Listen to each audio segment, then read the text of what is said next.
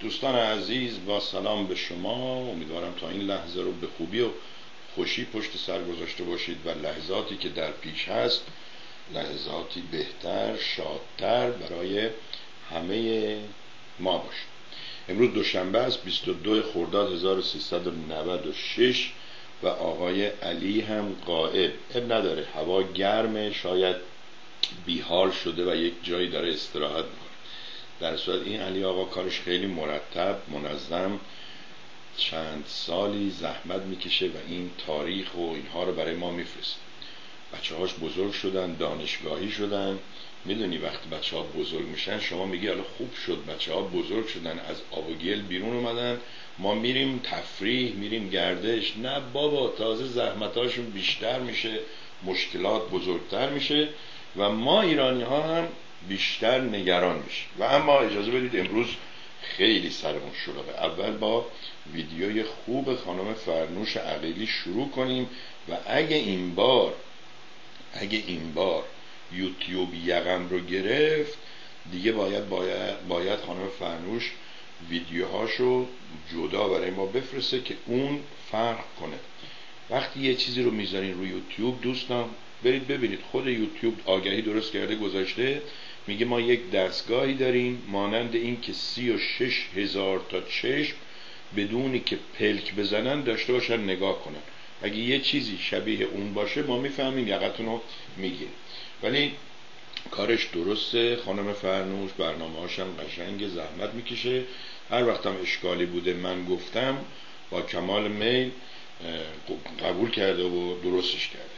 بریم با هم ببینیم. سه چهار دقیقه بیشتر نیست برنامهشون. یکی از محاسنش هم همین کوتاه بودنه. آمریکایی‌ها میگن مفید و مختصر. شورتن سویت شیرین و کوتاه. ببینیم با هم خانم فرنوش رو و اگر یک وقتی هم دوست داشتن با هم گپی بزنیم. این شما این هم خانم فرنوش عقیلی با برنامه به نام ترامپت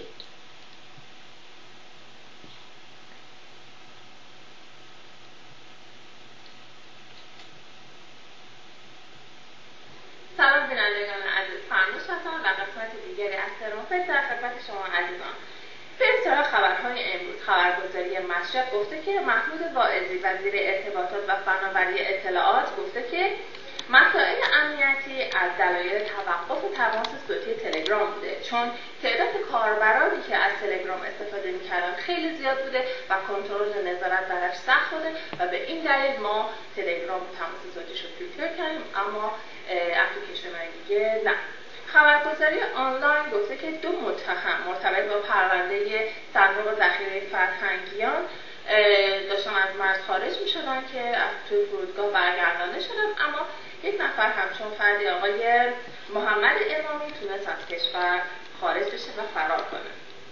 روزنامه فارس با وجود برخورداری از رتبه دوم منابع گازی در دنیا فقط یک درصد سهم ایران از تجارت جهانی گاز. و باز هم خبر آنلاین گفته که در یکی از مؤسسات توانبخشی به کودکان اوتیسم مورد شکنجه و آزار و اذیت و تعرض قرار می گرفتن که پرونده کیفری تشکیل شده و به دادگاه ارجاع داده شده. هرانا گفته که دو متهم به قتل مجموعا به پنج بار اعدام در ملع عام در جنوب رودبار محکوم شدند. در پرونده دیگری دو پسر جوان به خاطر ارتباط نامشروع توسط شعبه هشت دادگاه کیفری در یکی از استانهای تهران هر کدومشون به 99 ذره شلاق محکوم شدند و همچنین به تبعید در یکی از شهرستانهای دورافتاده جنوب شرقی کشور. و باز هم خبرگزاری فارس گفته که دو میلیون و چهارصد هزار معلول از سبد امنیت غذایی وزارت رفاه علیرغم نامنگاری های خانواده های این معلولات حذف شدن و دلیلش هم ذکر کردن که به خاطر اینکه خانواده های اونا مثلا ماشینی به نامشون بوده یا مثلا حداقل حقوق بازنشستگی رو از سقف 200 هزار تومن تا 900 هزار تومن دریافت می‌کردن و به این دلیل از سبد کالای رفاه حذف شدن همون سبد رفاه معروف که با سی هزار تومان بود و می‌تونستیم فقط چند گرم از چند مواد غذایی مورد نیاز رو تهیه کرد. همین هم از این معلومان عزیز حذف شد و گرفته شد. خبرگزاری نشر گفته که مرکز پژوهش‌های مجلس پیش بینی کرد که نرخ بیکاری در سال 1400 در سناریوی خوشبینانه به حدود 16 درصد می‌رسه و اگر برگیرانه بهش نگاه کنیم 26 درصد افزایش پیدا می‌کنه و گفته که همکنون نرخ بیکاری در کشور حدود 12.5 درصده. امیدواریم که آقای روحانی حداقل به یکی از وعده های خودش عمل کنه و اشتغال زایی کنه. هرچند که همون اول بلافاصله بعد از اینکه دوره دوم ریاست جمهوریش آغاز کرد شرط و شروطهایی برای اشتغال زایی ایجاد کرد و گفت که حالا حالا ها کار روز روزگاران بر شما خوش. خب بسیار ممنون از فرنوش خانم. این صداها از اینجا نبوده. اون صدای بچه و اینها از اونجا بود. خب استودیو که نداره بنده خدا بالاخره یا از محل کار یا هر جایی داره این کار رو انجام میده. خیلی هم خوب بود خیلی عالی بهتر از برنامه های قبل. و متوجه شدیم تو کمتر از چهار دقیقه چند تا موضوع چند تا خبر مختلف و متفاوت رو عنوان کرد. حالا ما یه مهمون میاریم. سه ساعت ازش می‌پرسیم آقا شما در سفرت به آمریکا چه کار کردی؟ میگه بذار من برات بگم رضا یک پلی ساخت. نمی‌دونی. چه پلی؟ کار اون خرابه دیگه. الا این جوونا بیان بلکه درستش کنن. در ممنون متشکرم. و خواستم آدرس ایمیل ایشون رو بذارم. اینجا یه کمی این من همیشه فکر می‌کردم فرنوش عقیلی ولی این فرنوش نقطه عقیلی عقیلی هم دو تا آی گذاشتن. من به ایشون پیشنهاد می‌کنم که یک چیز ساده تری یک ایمیل ساده تری پیدا کنن درست کنن. اصلا برای این برنامه های چیشون چی بهش میگن؟ برنامه های تلویزیونیشون. به دو, به دو دلیل. یکی که جداست هر وقت بخوان می‌تونن وقت بذارن اونو نگاه کنن. ایمیل شخصیشون دست این و این نیست. در هر صورت این پیشنهاد منه. و مثلا همون ترامپت که گذاشتین ترامپت حالا مثلا 2017 یا یه چیز ساده ای ایران حالا یه عددی هم بذاریم.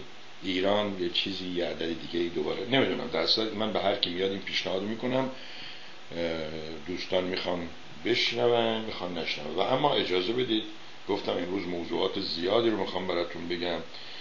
یه موضوعی درباره اون دوستمون که پیام گذاشت آقای, آقای به نام صاحب جمعی.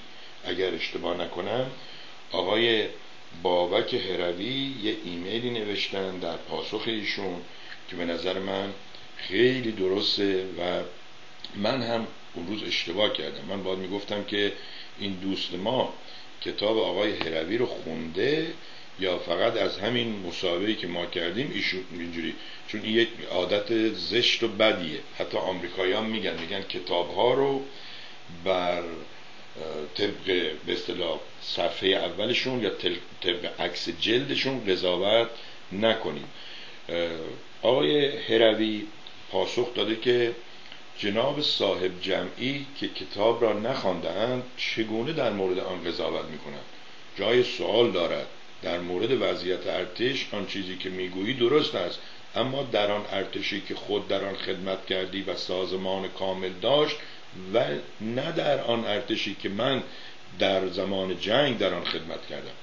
در خود کتاب آمده که پست هدایت سازمان پست هدایت آتش که من در آن خدمت می کردم از نظر سازمانی متعلق به یک افسر بود و با پستی و یا پستی که سرگروهبان آتش که من در آن خدمت می کردم از نظر سازمانی متعلق به یک افسر بود و یا پستی که سرگروهبان رحیمی در آن خدمت می کرد متعلق به یک سرهنگ.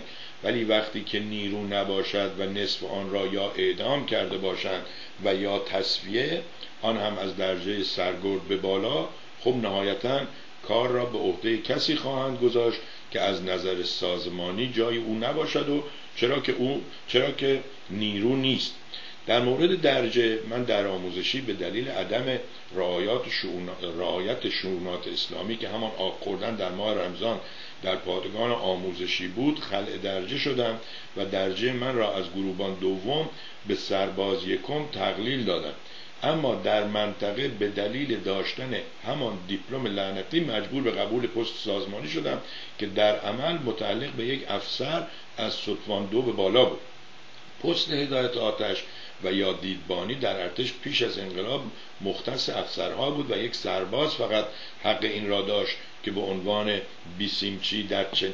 یک سرباز فقط حق این را داشت که به عنوان بیسیمچی در چنین ممنوعیت شرکت کند اما همین دو پست حساس پس از انقلاب به سربازان داده شد چرا که هم افسری باقی نمانده بود و هم اینکه در نهایت پست های پرخطر و پرمسئولیتی بودن لازم به توضیح هست و در خود کتاب هم آمده این کتاب دوستان کهن سرباز روی فیسبوک بابک هروی برید بخرید. بخونید نوشته هر کی پول نداره من براش مجانی میفرستم. که توپخانه 105 آه ببخشید. لازم به توضیح است و در خود کتاب هم آمده که توپخانه 105 میلیمتری به دلیل برد کوتاه و قابلیت نقل و انتقال سریع آن و به خاطر عدم حضور انبوه توپخانه های دورزن در آن زمان وظیفه قطع خطوط تدارک پشت خط دشمن را داشت و به همین دلیل هم در بهترین حالت یک یا دو کیلومتر با خط مقدم فاصله داشت و همین فاصله کم باعث می‌شد که همیشه در بدترین موقعیت در جنگ قرار بگیرد. اجازه بدید من این زمان زیر این چیزها را روشن کنم به چرخ اطلاعات مختلف. بله. در جنگ قرار بگیرد و بیشترین تلفات را هم داشته باشد. در مورد هدایت آتش و یا پست سازمانی من هم باز در کتاب ذکر کردم که مسئول هدایت آتش وظیفه محاسبه مختصات تیر انتخاب, انتخاب توپ و فرمان آتش را دارد و همیشه مرکز تلفن توپ ها و بیسیم بیسیم به این دلیل در آن سنگر است که کمترین زمان برای محاسبه آماده باش و شلیک گلوله مصرف شود. باید به خاطر داشت که وقتی یک آتش با روزی هزار تا دو هزار گلوله شلیک کند و بیش از هزار گلوله هم بر سرش بریزند دیگر آن سازمان زمان صلح آن سازمان زمان صلح در آن حکم نخواهد بود و اصل بر سرعت انتقال و ارتش قرار خواهد گرفت. امیدوارم این توضیحات قدری مطلب را روشن کرده ولی باز هم اگر در مورد خدمت و کتاب سوالی بود در خدمت هستم. در خاتمه لینک فروش نفت داعش به بشار اسد را هم از منابع معتبر می‌گذارم.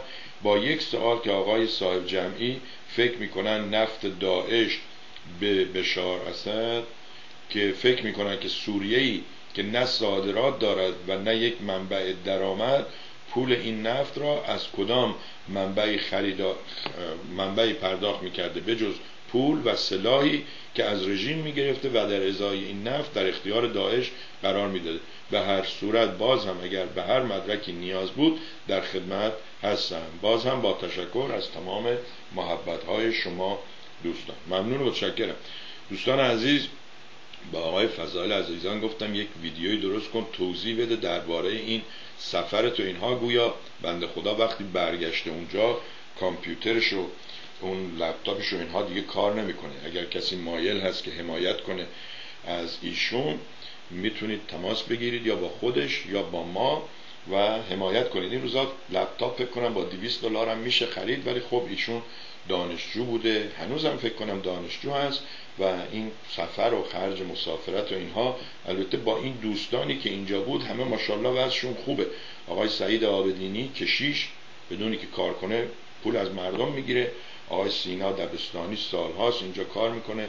فکر کنم وضع خوبی داشته باشه. اون آقای فرهمند کلایه همینطور و دیگران. ولی معمولا همونجوری که آقای علی ترابی هم گفت مرغی که چاقتره تخمهای ریزتری می‌ذاره. و همونجوری که سعدی گفته اگه اشتباه نکنم از کوچکی از از تنگی چشم فیل دانستم من آنان که غنیترند محتاجترند.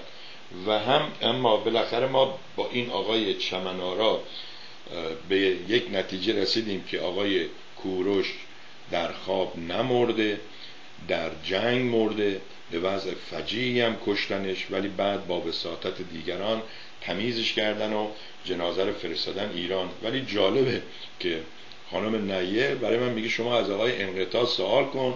آقای انقطاع بهتون میگه که کوروش در رخت خواب مرد. والا نمی‌دونم. آقای, آقای انقطاع اونجا بغل دستشون بوده؟ یا اینکه میگن طبق فلان کتاب. اگه طبق فلان کتابه لازم نیست من بپرسم.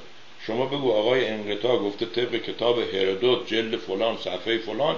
بفرمایید. کوروش داشت بشکن می‌زد بعد شب خوابید دیگه بیدار نشد.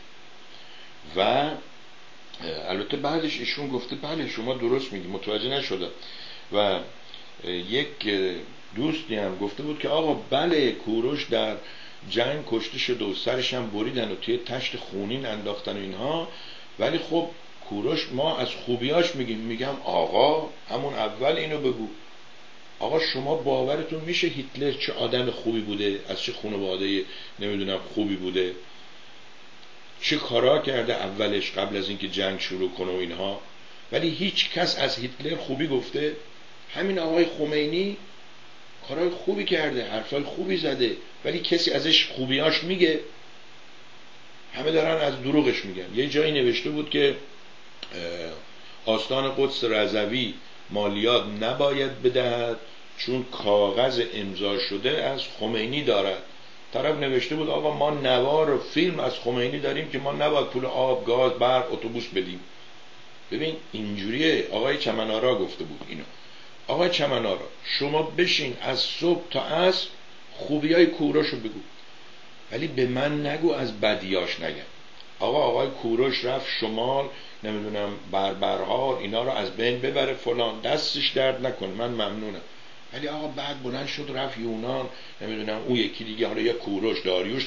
دو تا کوروش داشتیم یه داریوش داشتیم دو تا داریوش داشتیم. ماشاءالله همه چیز زیاد داشتیم. چیزی که نداریم امروز نه کوروشه نه داریوشه فقط دنبال قبرستون تو قبرستونا دنبال استخون اینا میگردیم که بهش افتخار کنیم. ملتی که امروز چیزی نداره تو قبرستونا میگرده. و اینا آمریکا آقا 240 50 ساله. البته بماند که اینم الان پنچر شده و زرتش در رفته. آمریکا فرانسه انگلستان. ببینید این کشورهایی که افتخار می‌کردن و می‌کنن به دموکراسیشون ببینید الان به چه روزی افتادن. و برای آقای مجید افراخته نوشتم آقا مثل که باید بریم دنبال دیکتاتورها و ما هم مثل این دوستان شاه اللهی بگیم بابا این آقا رضا قلدر آدم خوبی بود بیاریم کفشش هم واکس بزنیم یه بس تریاک هم بهش بدیم بگیم برو. البته ایشون فقط یه بس تریاک میکشیده صوبا قبل از اداره. هیتلر خمینی کوروش خوب بعد تاریخ آمریکا ماجرای کریستوف کلم براتون اون روز یه فیلمی گذاشتم. شاید امروز هم نگه دارم. یه دوستی برای من یه لینک فرستاد. شما آقای حاطف رو می‌شناسید خواننده نه اون حاطف اصفهانی شاعر و اینها. این علی حاطف و من سالها پیش یادمه با یک آهنگی خیلی معروف شد. زنگ زنگ مدرسه یا زنگ تفریح. میگو بازم زنگ مدرسه رو زدن و باید بریم و توی زنگ مدرسه نمی‌دونم فلان. خیلی قشنگ بود. اجرایی شده بود و من ایشون رو از ایران نمیشناختم. و گویا ایشون تو ایران اتفاقا یه آهنگی خونده بوده که ازش تو جنگ و اینا استفاده می‌کردن. ولی بعدا ایشون که آمده بود آمریکا این فیلم رو ساخته بود اینا بعدا به نظر من یه مدتی کمکار شده بود تا اینکه الان یه فیلم جدید به نام مسافر ترافلر گذاشتن و این فیلم رو یک ساعت و نیم یک ساعت چل دقیقه هست هچ من نگاه کردم خیلی قشنگه. اصلا ماجرای این زندگی ایرانی ها آمریک... که میرن ایران از آمریکا میرن ایران و اینها. و همین چیزی که من تو برنامه هم چندین بار گفتم موضوع ازدواجایی که طرف به خاطر گرین کارت میاد این میره به خاطر سوء استفاده. بعضی هم واقعا خسته شدن اینجا ازدواج کردن. گفتم ما یه دوستی داشتیم سی سال پیش. شیرازی هم بود و اینها. همه گفتن آقا این خانمش اصلا مهمون نوازی از شیرازی ها بهتر اینجوری اونجوری. یه در اومد مغازمون گفتیم اون موقع ما فروشگاه داشتیم. گفتیم که اکبر خانم دینا حالشون خوبه؟ گفت آقا طلاقش دادم. گفت اه. گفت ها کاکو می‌خوام برم شیراز از تو محله خودمون از تو کوچه خودمون زن بگیرم. گفتیم چرا؟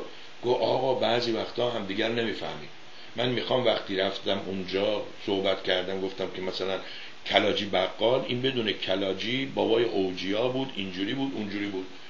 و مثال خوبی هم زد. گفت آقا حتما به سر شما اومده که توی مهمونی تا دو تا شیرازی سه تا شیرازی پیدا می‌کنید میرید یه گوشه ای شروع می‌کنید جوک میگید. مثلا میگه آقا یا تو قوتک خوردی نزدیک بود خفه بشیم. شروع می‌کنید به خندیدن. یه ترونی میگه آقا قوتک چی چیه؟ والا نمی‌دونم قوتک شما بهش چی میگی آرد و آرد نخودچی و شکر قاطی می‌کردن. توی کیسه, کیسه چی؟ قبلا که توی کاغذ روزنامه می‌دادن یک قرون. میخوردی بعضی وقتا خفت می‌خواست بکنه. مثل بچه های اینجا هست دارچین می‌خورن اذیت می‌کنن هم دیگر. در اصل می‌گفت این می‌خوام بهتون بگم که ببین من شیرازی هم زبان فارسی این تهرونی زبان فارسی چون هزار کیلومتر 900 خورده کیلومتر فاصله داشتیم اختلاف فرهنگ داریم اختلاف خاطره داریم. حالا من اومدم با خودشم میگم میگم من احمق اومدم از اون ور دنیا رفتم یه زنی گرفتم زنم خیلی خوبه ولی خب اونم رنج می‌بره. تو مهمونی ایرانی بیاد بدبخت میشه.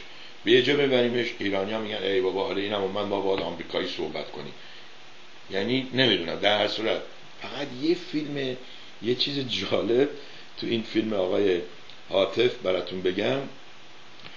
اصلا اون چیزی که شما فکر می‌کنید اتفاق نمیفته و این جالب بودن یک فیلمه خیلی فیلم ساده ای هست. به نظر من خرجی هم نداشته. خب بالاخره ساختنش فیلم بردار بیا کارگردان بیا چهار نفر پیدا کنه هشت نفر پیدا کن. همین که آقا ما صبح می‌خوام سوار ماشین بشیم شما دوربین تو اونجا بذار شما نمی‌دونید چقدر کار داره. ولی خب این مثل فیلم های آمریکایی 100 تا ماشین منفجر کنن و 200 تا کامپیوتر نمی‌دونم گرافیک و این چیزا بذارن. نبود. ولی داستان فیلم حکایت از یه ماجرایی می‌کنه که ما تا چند نسل دیگه باید این رو تو تلویزیونامون صحبت کنیم. من از آقای علی حاطف دعوت کردم که یه روزی مهمون ما باشن. در این باره صحبت کنیم. ضمنا چون یه کسی اینو که فرستاده بود گفته بود نشون بده.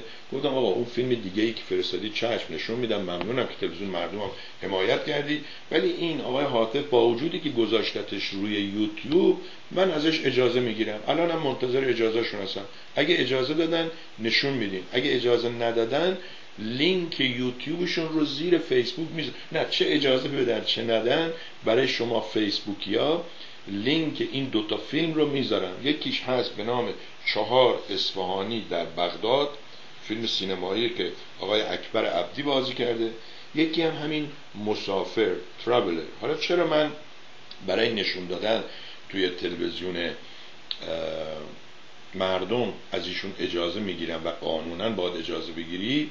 اینه که وقتی ایشون گذاشته روی یوتیوب شاید روی یوتیوب می‌خواد تعداد بیننداش زیاد بشه از اون طریق یه پولی کمی یوتیوب بهش میده که البته من آگهی ندیدم اول یوتیوبشون.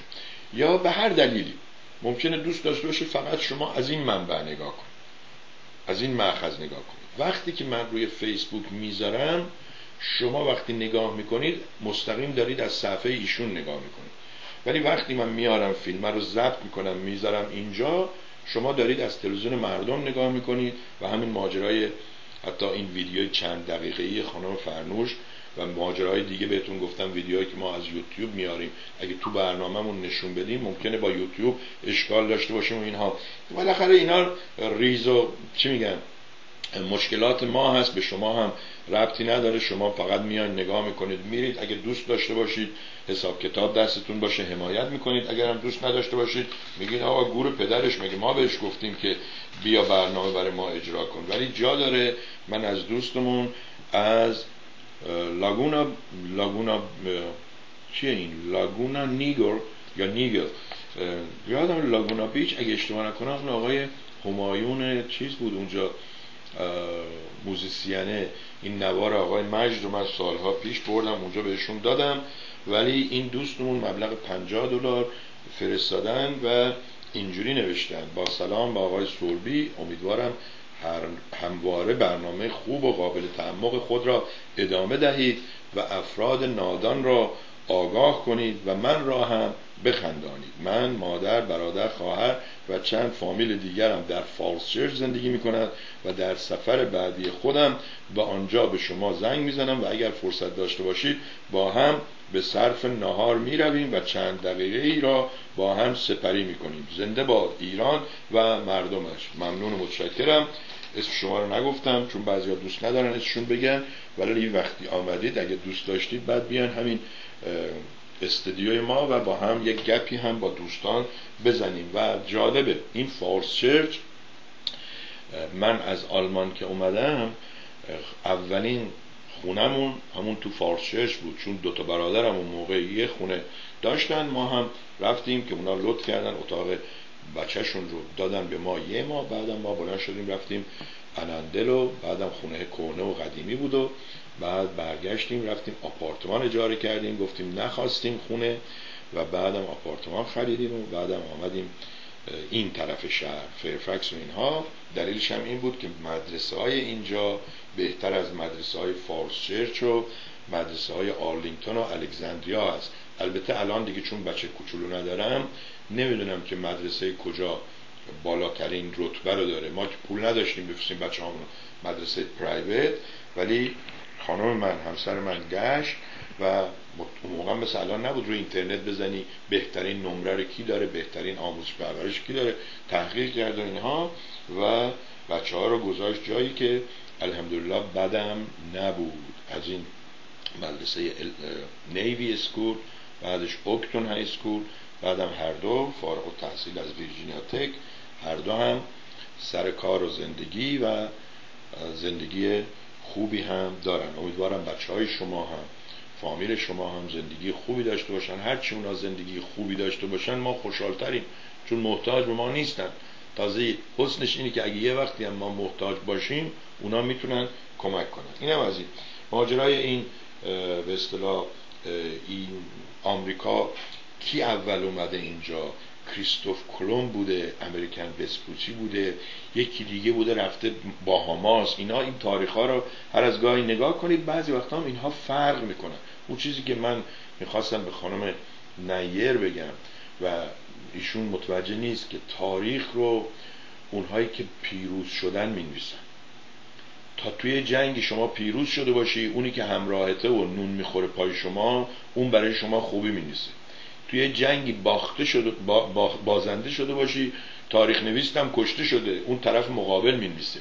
و تاریخ حالا دیگه هرچی بوده خوب بد گذشت رفت. امروز چی داری؟ بیاران چه داری؟ این زمردی و زورم دیگه غلطه چون واقعا این روزا خانوما فعالیتشون بیشتر و بهتر هست. در اصل پرسیده بودم از آقای مهدی زلفقاری و تشکر می‌کنم از ایشون. زنگ زده بود گفته بود می‌دونم برنامه داری ولی من درباره این نشست هایی که در کنگره و دست نیاز به CIA دراز می‌کنن نمی‌تونم بنویسم یا اینجوری صحبت کنم. یه وقتی با هم گپ می‌زنیم. سعی می‌کنم یا چهارشنبه یا جمعه با ایشون باشیم تا چند کلمه در این مورد صحبت کنن. من نظرم اینه که اگر شما بتونی بری یه جای پول بگیری کمک کنی که ازت چیزی نخوان خیلی هم خوبه.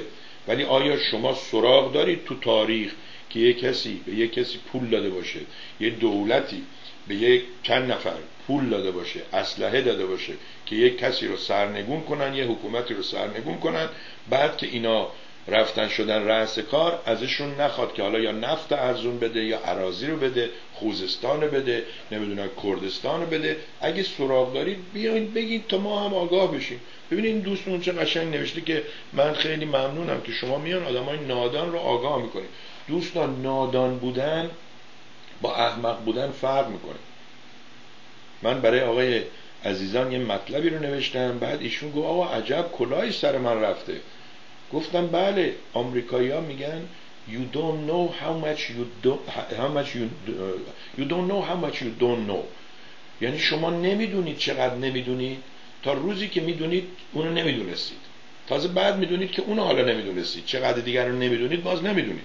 اینم ماجرای ما هست که تا انقدر یاد می‌گیریم فکر کنیم همه چی رو می‌دونیم. به همدیگه میگیم استاد. وقتی هم من به طرف میگم آقا به من نگو استاد ناراحت میشه. میگه من تو آلمان بودم. آقا آلمان بودی؟ خوش به حال. چیکار کنیم؟ بابت اینکه شما تو آلمان بودی چل سال زودتر از ما در رفتی از ایران ما باید به شما مثلا حق آب و گل بدیم. من نمی‌فهمم. بودی که بودی خوش به حال. نمی‌دونم. و اما چرا آمریکا به نظر شما باید رژیم ایران رو عوض کنه؟ رژیمی که داره بهش نفت ارزون میده تو می‌دونید رژیمی که داره به اینو اون میگه ببین ایران می‌خواد بیاد بگیره بزنه پدرتون در بیاره سلطنتتون از بین ببره عربستان سعودی اسلحه بخر آقا آمریکا باید یک کمیسیونی به آخوندا بده. 110 بیلیون دلار اسلحه فروخته. این از آخوندا ناراضیه. میاد با آقای فخرآور میاد با آقای عزیزان میاد با آقای سینا دبستانی میاد با آقای پرچیزاده. میرن رژیم ایران عوض می‌کنن. حالا اینا همه رو ول کن اینا همه جوونن. آقای جاوید شهافر رو بگو. که خوشحال تو پوستش نمی که نه این دفعه یک کارمند سیایه به من گفت. آقا کارمنده سیایه بیا تو خیابون طرف میری آبجو می‌خوری میشین باید صحبت کن. و میگه آقا من مامور سیایه مامور همین کوچه ای که ما هستیم این ور اون ورش دوتا خونه دوتاشون یکیش مال اف بی آی بود یکیش مال سیایه که اون رفتش اون مال سیایه بود. چون سیایه کارهای دنیا رو به هم میرزن و درست می‌کنن و خبر میدن و اینها آی بیشتر چیزای داخلی و فدرال هستن. و اما سه تا پیام از یه دوستی که نمی‌دونم شما اگه صحبت کنید دیگه دوستان فکر نمی‌کنم شما رو به عنوان ناشناس بدونن چون شما چند سال با تلویزیون مردم صحبت کردی صدات بوده حرفت بوده قول دادی برنامه درست می‌کنی.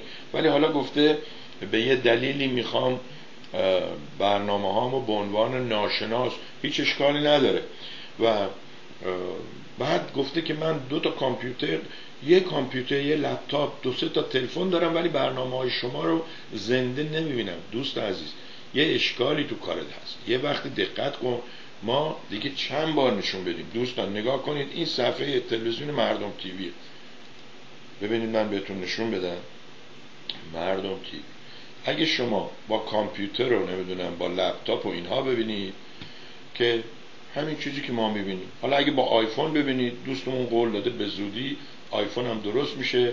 البته بهش, بهش گفتم که من از امروز اسم شما رو می‌ذارم توی انجمن کارمون خیلی خرابه.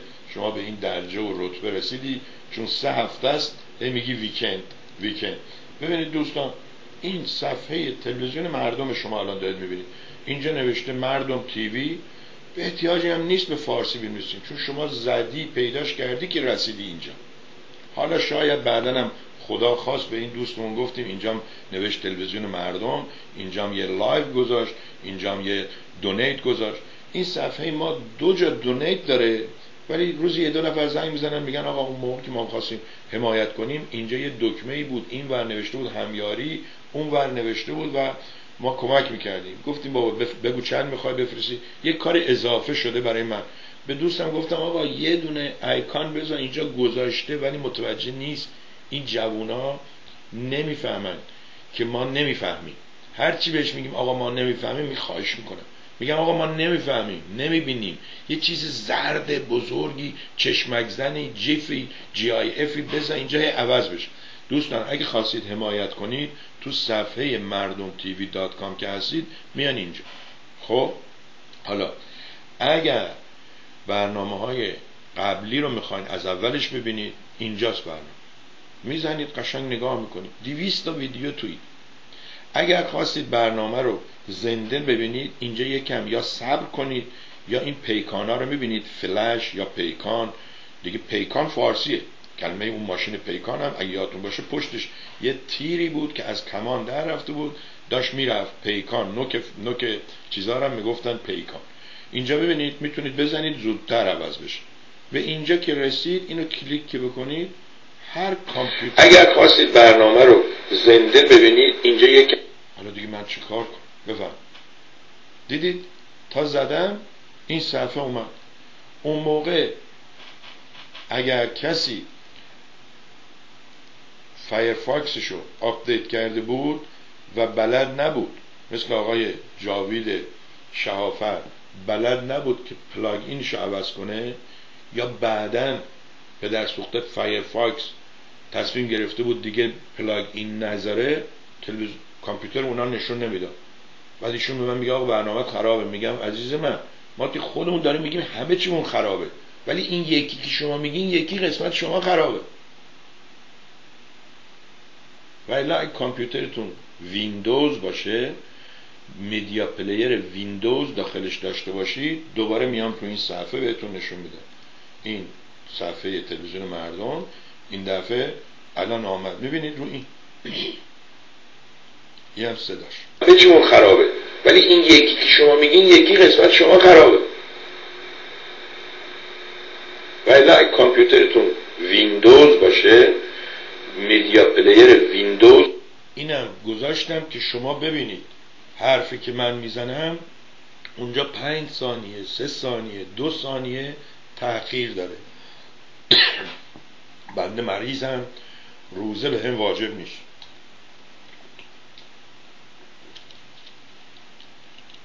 بابک هروی راست میگه. میگه که زمان آموزشی چون توی شرایطی هستی که شرایط معمولی نیست اون سه ماه اگه بیفته تو ماه رمزون یا ماه رمزون بیفته تو اون نباید ماجرای روز موزه باشه.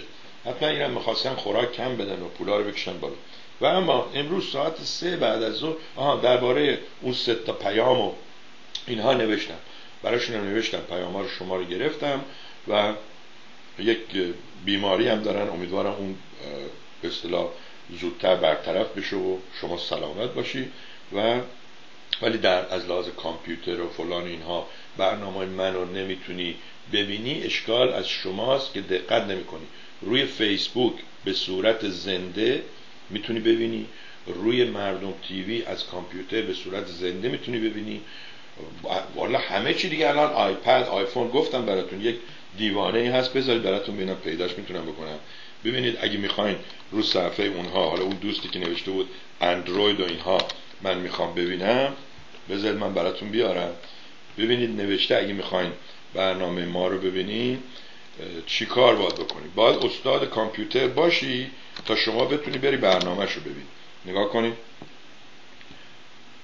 بیارم اینجا.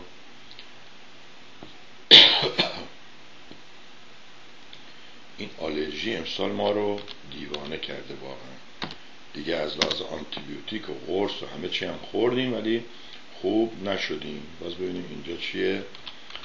همینجور دارم دنبال این تلویزیون میگردم که براتون بیارم که وقتی شما میرید اونجا این آقای شهافر دقت کنه. اگر نوشته ببینید نوشته پخش از آیفون و آیپد اوکی؟ شما روش کلیک می‌کنید. حالا چشمت روز بعد نبین. بیا نگاه کن دوستان. ببینید چی نوشته آقای شهافر دقت کن ببین عزیز من بیا. این همین تلویزیون تیمور لنگم هست. پخش از آیفون آیپد و اندروید. یک to listen to go to Apple iPhone iPad direct method go to radio نمی‌دونم فلان. اپ متد گو حالا ببین برای بیننده های ایرانی ورداشته 100% انگلیسی نوشته. بعدم ببین یک A B دو دو یک دو A B C سه. آقا خانم ما که گفتیم اگر نمی‌تونید اینجا رو ببینید اینجا رو کلیک کنید. او وقت شما میای میگی که تلویزیون ما اشکال داره؟ واقعا ما آدم های بیانصافی هستیم و آدم های غیر منطقی هستیم. همین دوستمون خانم نیر چند ماه پیش شاید الان دیگه یک سال هم شده باشه قرار شده بره تو اروپا هم هست. آلمان با سوئیس هم مرزن. نمی‌دونم دیگه از بس اینا نزدیکن اینا یادم رفت. آلمان فرانسه. آقا خانم سوار قطار باشه برو سوئیس. برو مدرسه بگو آقا شاه ما اینجا بوده. خب بدید دیگه دفتر حاضر قائب روز دیپلم عکس دیپلمش. اگه ایشون دیپلم گرفته بود شما فکر کنید کورکچل های شاه الله ما رو ول می‌کردن. منگلش قبل از دیپلم اینجا بوده بعدا انداخته این و عکسش میذاشتن. نگرفته خانم. اذیت کرده از کرد کردنش بیرون. هیچ عیبی هم نداره. انشتین با اون انشتینیش درسش هم خوب نبوده. خیلی های دیگه هستن از مدرسه میکننشون بیرون. همین بیل گیت و اینا همشون drop out مال دانشگاه هستن. تا مدرسه رفتن به زور با رفتن دانشگاه دانشگاه ول کردن. ولی آدم موفقی هستن. شما چه اصراری داری که دروغ بگی؟ بگو آقا اینم مثل, شا... مثل رضا شاه اصلا اینا خانوادتا مدرسه نمی‌رفتن ولی نابغه بودن. اینم مثل امام خامنه ای وقتی خواسته بیاد بیرون شیرجه اومده گفته یا خمینی اینا هم از شکم مادر یا از هر جای مادر که اومدن بیرون بسیاری در سزارین شده باشه یا طبیعی آمدن گفتن اوکی کجا پل بسازیم؟ کجا نمی‌دونم ارتش بسازیم؟ اینجوری بگید اقلا طرف میگه آقا این دیگه اینقدر دوستش داره مزخرف میگه. ولی نیان به ما بگید ما دروغ میگیم شما راست میگید. وقتی ما داریم راست میگیم شما میگید نه شما دارید دروغ میگید. پس می‌دونید من خیلی بیتارف دارم میگم. بذارید این دوستم چی نوشت دیشب برنامه رو تماشا می‌کردم. که نتانیاهو اصرار داشته که آمریکا ایران را بمباران کنه و آمریکا موافقت نمی‌کرده چون که منابعش با نابودی ملاها به خطر میفتن یه روز گروهی از ایش این ارتشیان با آمریکا وارد حالا دیگه دنبالش نمی‌تونم بخونم چون مینسه کلیک مور یا هرچی بله این آقای نتینیاهو حالا بگن یقه خودش بعضی میگن شلوار خودش بعضی میگن فلانجای خودش رو پاره کرد و الان اسرائیلیا هم بهش میگن آقا این دیوونه جنگی برو دنبال کارت. حالا اونا دیگه چه منفعتی دارن که آخونده اینجا باشن من نمی‌دونم. بله ایشون نوشته که روزی گروه از ارتشیان آمریکا وارد اتاق جوربور میشن و می‌گوین نمی‌خوای به ایران حمله کنی؟ کشور دیگه ای عراق را میشه بمباران کرد. برنامه جالب و در درناکی بود. لعنت به دموکراسی این کشورهای دروغگو خانم جنراله اصلا فیلم میشه میگه رفتم تو اتاق اینها بعد که داشتم میمدم بهم گفتن که خبر شنیدی؟ گفتم نه. گفتن که می‌خوان حمله کنیم. گفتم به کجا؟ گفتن عراق افغانستان. گفتیم برای چی؟ گفتن نمی‌دونیم. نمی‌دونم جنرال اسمش کیه. یه آدم خیلی خوبی هم هست. در صورت بله ما که اینجا هستیم شوخی می‌کنم بهتون. میگن ما بالاخره یه چیزی این شاهلایا درست گفتن. شاهلایا میگن ایرانی ها لیاقت ندارن. باید یکی باشه تو سرشون بزن. ولی الان دنیا به این نتیجه رسیده که یه جاهایی تو دنیا دموکراسی رو هنوز نشناخته. دیدید دیگه تو لبنان بود؟ کجا بود؟ لبنان فلسطین اینها آزادی گذاشتن انتخابات گذاشتن. وقتی رفت یکیش حزب الله رو انتخاب کرد یکیش حماس رو انتخاب کرد. انتخابات آزاد تازه چی؟ روشم نظارت می‌شد توسط نمی‌دونم جاهایی که من و شما خیلی فکر کنیم خیلی دموکراتن. اونا تو سرمون بخوره. همین آمریکا. انتخابات شده یه نفر که سه میلیون رای کمتر اومده رفته تو حالا به تازه میگن آقا اصلا روسیه این کار کرده. روسیه اینو انتخاب کرد انگلستان هم که خدای نمی‌دونم مکر و هیله هست این خانم سه سال زودتر یا سه ماه زودتر اسنپ الکشن گذاشت این اسنپ تو سر خودش خورد. الان باید دولت با اقلیت را بندازه. مجبور شده ده تا کرسی یا ده تا صندلی از ایرلند قرض بگیره و از این ماجراها. فرانسه هم که با وجودی که اومده کابینش نصفی از زنها نصفی از مردها گذاشته که رعایت بشن خیلی میگن ایشون چون زنش خیلی مسن و پیره آمده یه مش زن جوانی رو در کابینه قرار داده که روزا وقتی تو دولت هستن به خانمش مجبور نباشه توضیح بده. اینا همه وزیرها همکارشن اصلا نمی‌دونم. این جوکای سیاسیه. یا بخندید یا دوست ندارید نخندید. ولی این جوکا تو جامعه هست. من نه جوک بلدم بسازم نه چیزی. امروز یه شعری رو برای یه نفر فرستادم گفت آقا دمت گرم. من فکر نمی‌کردم تو اهل شعر و ساز و نمی‌دونم ساز و سور و این چیزا باشی. گفتم ببین عزیز من من اصلش روزی که اومدم تو تلویزیون رادیو اول از رادیو شروع کردم روزی که اومدم تو رادیو اومدم که همین جوک بگیم و بخندیم و خوش باشیم. چون من که می‌دونم من کاری از دستم بر نمیاد. بعدا به این راه کشیده شدیم. خدا از سر بینندگان تلویزیون رنگارنگ نگذره. اولین یه شنبه ای که من با آقای محمد کلها یعنی برنامه من من بود. محمد کلها رو دعوت کردم جوونی بود از ایران اومده بود. گفتیم بیا تو برنامه. نشستیم یه نفر زد گفت آقا حالا شما این خبرها که خوندید تازه اون موقع اینترنت هم همه نداشتن اینا. مثلا بیننده های تلویزیون های ماهواره ای همین الان هم به بعضی هاش میگی اینترنت میگی چی آقا؟ دیگه من حوصله اینترنت ندارم. اوکی. گفتن آقا این خبرها اینا رو خب ما حالا می‌دونیم. شما خودت نظرت چیه؟ ما نظرمون رو گفتیم. فکر کردیم اینایی که تو آمریکا هستن اون موقع تلویزیون فقط آمریکا پخش شد. فکر کردیم اینایی که آمریکا اومدن اقدر میگن ما تیش مامانی هستیم. اینها اقلا می‌فهمن. دیدیم نه آقا به صرف این که میگیم بابا منم مثل شما طرفدار این رضا عقب افتاده بودم. آمدم نزدیک دیدم بابا از دور آواز ساز و دهل خوبه. از نزدیک گوشت رو کر می‌کنه.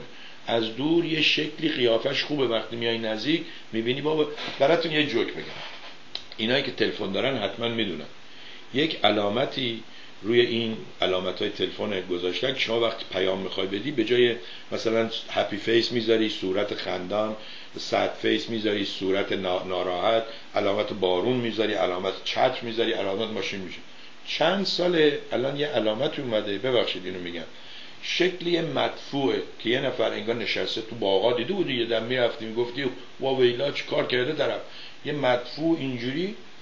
بیچاره یک خانمی برای دخترش این رو فرستاده فکر کرده این شکلاته هست. کیسه چی؟ چی اسمش؟ یه شکلاتی هست اسمش بوسه هست. اینجوری توی زرورق وقتی برش میداری یه چیز قهوه‌ایه اینجوری. حالا کلی هم مسخرش کردن دخترش هم خجالت کشیده جلو دوستاش. گفته آقا من چه می‌دونم دیگه اینا میان گوه و مدفوع می‌ذارن تو تلفن. این تلفن برای من خریده. تشکر کردم براشم یه ماچ فرستادم با این شکلات. حالا شکلات در هر صورت. از اون زمان اینجوری شد. هرچی هم میگیم آقا جون ما نداشتیم. ما مبصرمون خودمون انتخاب نمی کردیم اینجا بچه کلاس اول میرن روز اول بهش یاد میدن. شما پرزیدنت کلاس رو معین کن. بعدم یکی میاد مثلا میگه که من نمی‌دونم اینجوری هم اونجوری هم میگن این پرزیدنت. از همون اولم اینایی که میشن پرزیدنت باید پدر سوخته سیاسی باشن. الان بچه ها ببینید پنج سال 6 سالش چنان ناقلات چجور صحبت می‌کنه که من شما توش میمونیم. در هر صورت به دیگران میگم آقا تو که می‌خوای سیاسی بشی مدرسه سیاسی رفتی میگی نه آقا این حرفا چیه؟ انسان سیاسی دنیا میاد شما زور نهار که می‌خوری سیاسی. خود من همین مزخرفات به این اون دادم. شما وقت تصمیم می‌گیری چلو کباب بخوری یه عمل سیاسی انجام دادی نرفتی نون پنیر بخوری. چه عمل سیاسی مهم. آقا مدرسه داره درس داره کلاس داره باید بیاد بعدم تازه باید علاقه داشته باشه. خیلی ها هستن رفتن رشته امور سیاسی خوندن بعد اومدن دیدن فایده نداره. داره تاکسی میرونه. اتفاقا آقای حاطف تو این فیلم تاکسی میرونه. و آفرین. حالا نمی‌دونم تو زندگی معمولی هم تاکسی میرونه یا نرونه چه برونی چه نرونه. آفرین به شرفت که خیلی قشنگ توضیح میدی برای اون خانم. این فیلم رو حتما ببینید دوستان. روی هر دو فیسبوک می‌ذارم. منتظر اجازه آقای حاطف هم هستم که تو تلویزیون هم نشون بدن. تا اون موقع فعلا این فیلم چهار اصفهانی در بغداد رو براتون نشون میدن. و اما قرار دادن ویدیوهای خودتون یا دیویدیوهایی رو که دوست دارید در صفحه مردم ریپورت و جالب ما امروز باز گناهمون برگشت. و به این دوست قدیمیمون آقای یزدان خدابند لو هم این رو فرستادیم و نوشتیم که آقای بله ببین آقا خانم آدمی که کارش درسته اینجوری همین الان که ساعت دو چه هشت دقیقه است آقای حاطف برای من نوشته که فرشور عزیز. منم براش میدیسم thanks. I'm talking about you. Right now. بفهم.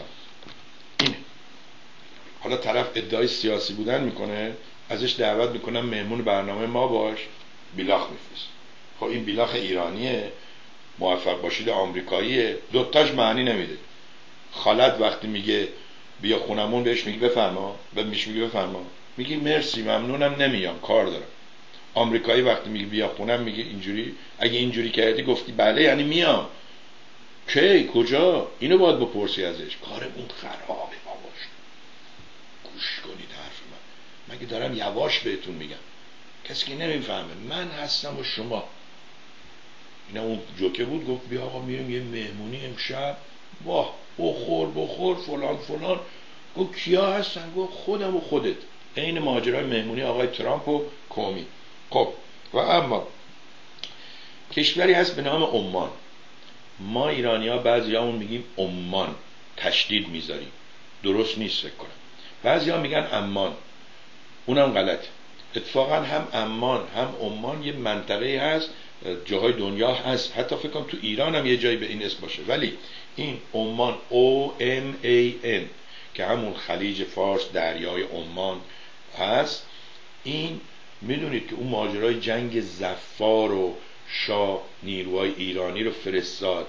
برای اینایی که مثل من بی سوادن میگن چرا الان نیروهای ایرانی میرن تو سوریه؟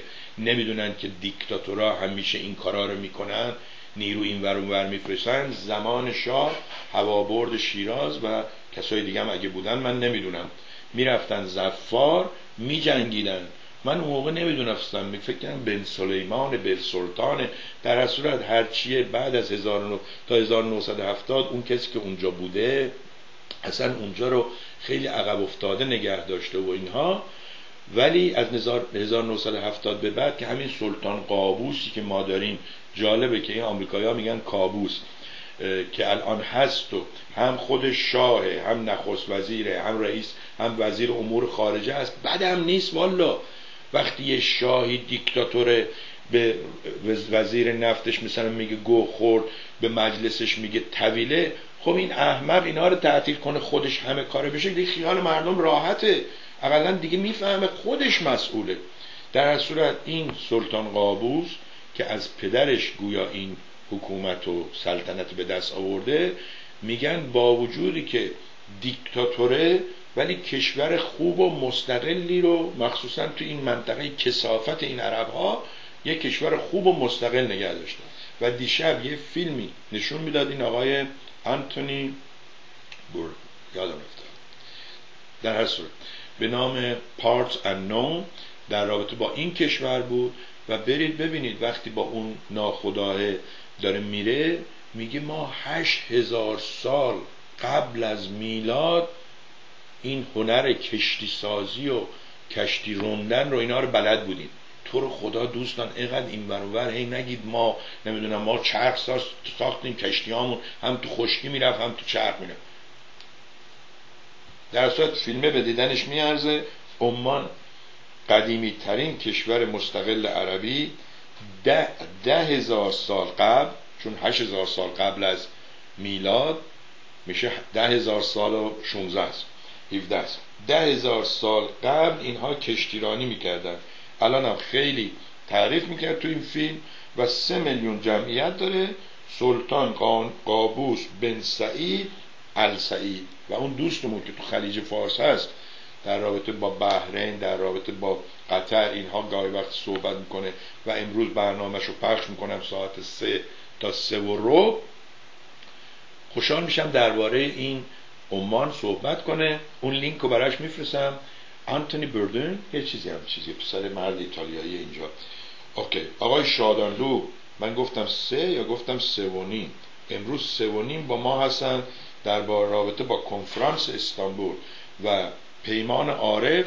یه چیزی هم درباره پیمان عارف برای من نوشته بودن چون نمی‌دونم می‌خواد به شما بگه یا نه اونو فعلا نمیگم می‌ذارم به اختیار خودش. پس شد چی؟ این هم از این. و اما شنیدید من حتی با آقای اوسانلو هم وقتی مصاحبه می‌کنم هی میگم آقا منی که اینجا نشستم گیجم.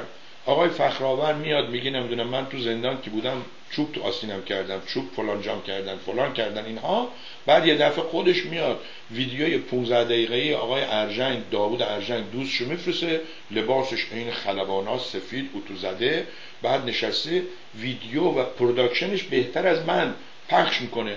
اینه که من نمی‌فهمم قسم حضرت عباس اتفاقا اسمش امیر عباس فخرآوره یا دم خروس که آقای داوود ارجنگ باشه گوش کنه. شما خودت میای میگی اینجوری زدن زبونم رو چاق کردن فلان اینها. بعد میایم تو تلویزیون تو فیسبوک اینها می‌بینیم یه چیزی گذاشته جشن تولد در زندان رجای شهر. وقتی من این ویدیو رو بهتون نشون میدم چون این سایزش عوض شده حالا یا با تلفن گرفتن یا هر چی وقتی گذاشتن اینجا کشیده شده بزرگ کوچیک شده اینا مهم نیست. شما دقت کنید به صحبت کردن این دوستان در زندان. بذار سند معتبر این هنوز سند معتبری نشد آقا امضا نکنن. کجاست؟ این صدا داره میاد. بله. خب. براتون اینو نشون میدم. شما اینو دقت کنید. اوکی. می‌خوام عضو بشم. عضو کجا بشی عزیز دلم؟ عضو خر... حزب خران یا کارمون خیلی خرابه؟ کجا؟ ببینیم. یه دوستی نوشته من می‌خوام عضو بشم. خوبش بگی که ما اینجا عضویتش مجانیه. وقتی اومدی داخل مجانی ولی وقتی خواستی بیرون باید یه پولی بدی. برعکس درست سازمان های دیگه. چندین سال پیش من می‌خواستم یه رستوران باز کنم. بگم هر کی دلش می‌خواد بیاد اینجا موزیک بزن خانم گفت دیوانه شدی. خب کسی نمیاد پول بده بیاد توی همچین دیوونه خونه ای گفتم شما متوجه نیستی. من تا ساعت ده در رو باز می‌ذارم که بیان تو مجانی. بعد در رو قفل می‌کنم. هر کی خواست بره بیرون ازش پول می‌گیرم ما همه چون برعکس باد باشه. تلویزیون ها ببین دنیا شما وقتی گوینده هستی خبرنگاری بهت پول میدن. تلویزیون های ما ایرانیا ازمون پول می‌خوام خود منم از دیگران پول می‌خوام. ولی تلویزیون مردم اینجا هم یه قدم جلوتر گذاشته اگه شما پول نداری یا مفتخور هستی ببینید پول نداشتن با مفتخور بودن فرق می‌کنه. اگه پول داری نمی‌خوای خرج کنی مفتخوری. ولی اگه پول نداری ولی می‌خوای صدات حرفت رو آقای کی بود این دیوونه؟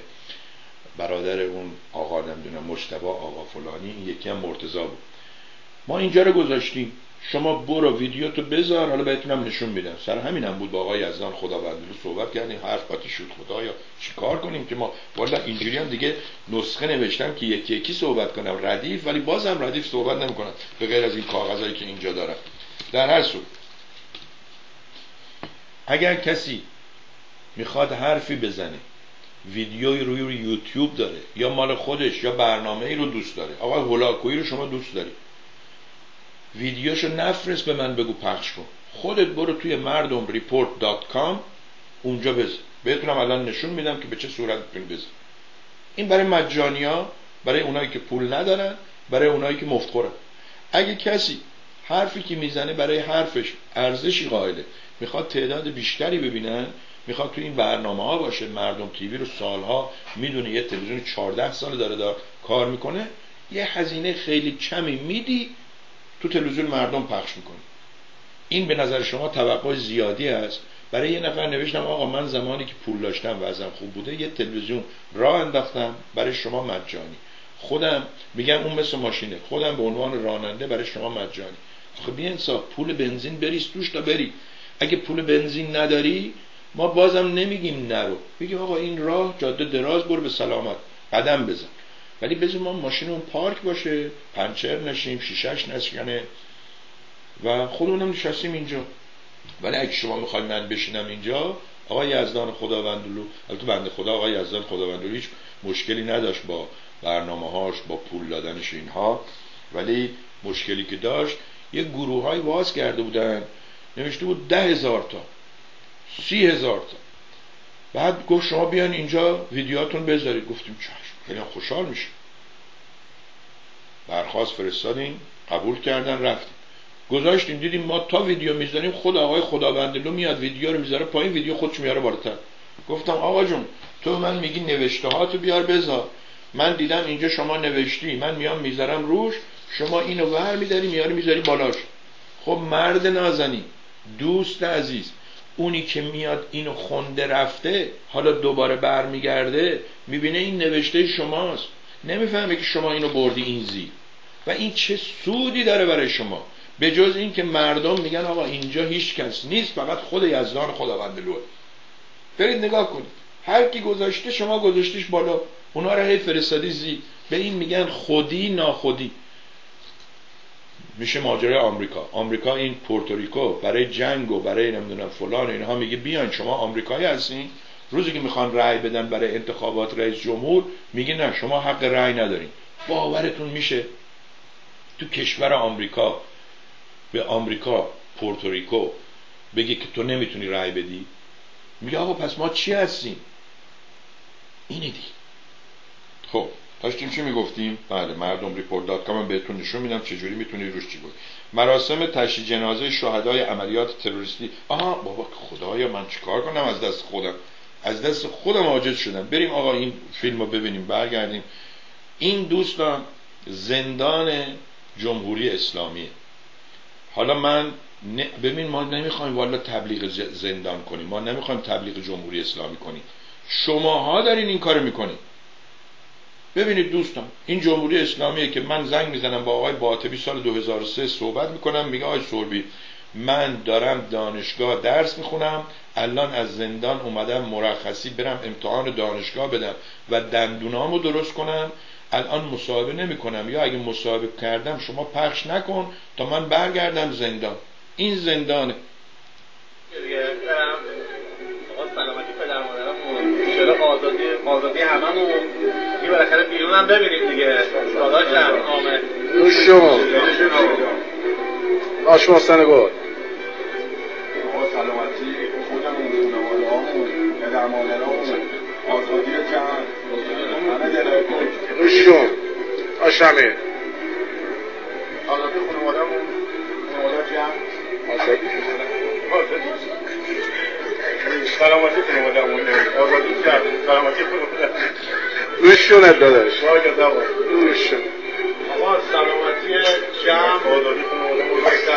دوستان به این میوه ها به این بشقابای خوراک به این لیوانا به این بطر آب به این که تو زندان میگن سلامتی به این که فیلم رو گرفتن پخش کردن. آخه شما نمیگید این دم خروسه یا حضرت عباسه؟ اگه شما نمیگید من دیوانه هستم پس. سلامتی اون نادرستایی که آزاد شدن رفتن پشت سرشون نگاه نکردن. سال خوبی داشته باشن اما خیلی نادرستن. خب هم دقیقه مدارششون شما. می‌فهمید این چی میگه؟ اون زندانی که رفته باید چیکار کنه؟ لابد منظورشی که باید میمده ملاقاتی اینها نه؟ آقا اونا اومدن آمریکا تو Voice of America و این ور کار گرفتن. دلخوش یا بشین بخور به سلامتی. برو بریم. سلامتی شما هم سلامتی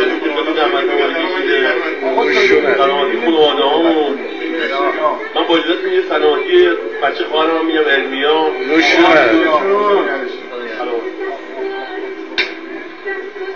سلامتی چند؟ سلامتی خانواده باش رضایی بود چند تا با ایران نشستیم اینجا. کار درست خود یک خوبه سلامتی خودمون خانواده همون سلامتی داشت عادلم سلامتی بچه بچه های شاهی. رفاه خوب و وجود مازندران. آزادی همه زندانی ها جمع. نوشونه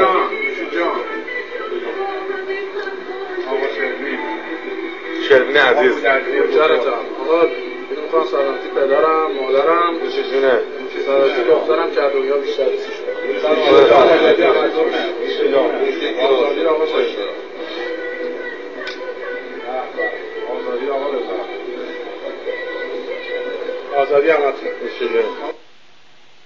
جالبه یکی از دوستان رو فیسبوک نوشته نه آقا مسخره کردن زندان نیست. دوست عزیز نوشته جشن تولد در زندان رجای شهر. و ما دیدیم از این چیزا. بله همون زندان قدیم زندان شاه هم توش آواز میخوندن طرف بلبل داشت کبوتر داشت. همین الان یه فیلمی هست اسمش نمی‌دونم دزدی عاشقانه است. چیه؟ این هنبشه است. هنبشه خوبیه ولی قد کوتاهی داره. تو همین فیلمی که الان ما داریم پخش می‌کنیم سیانور نقش اون معمور ساواک رو بازی می‌کنه. اسمش نمی‌دونم چیه من اینا رو نمی‌شناسم. تو همون این دوتا زندانن. پسر امو هستن پسر خالم هستن. می‌دونی که تو ایران بعض وقتا دو تا مثلا پسرمو دو تا خواهر می‌گرفتن بعد شدن هم پسرمو هم پسر خاله در هر صورت. تو اون نشون میده اصلا تو زندان چیز دارن. ولی خب من می‌دونم شما تو بهشتم اگه باشی در رو ببندن بگن تو این ساعت. آقا ارتش می‌گفت نه شب بخواب تا مثلا پنج صبح. میشه جهنم میشه زندان.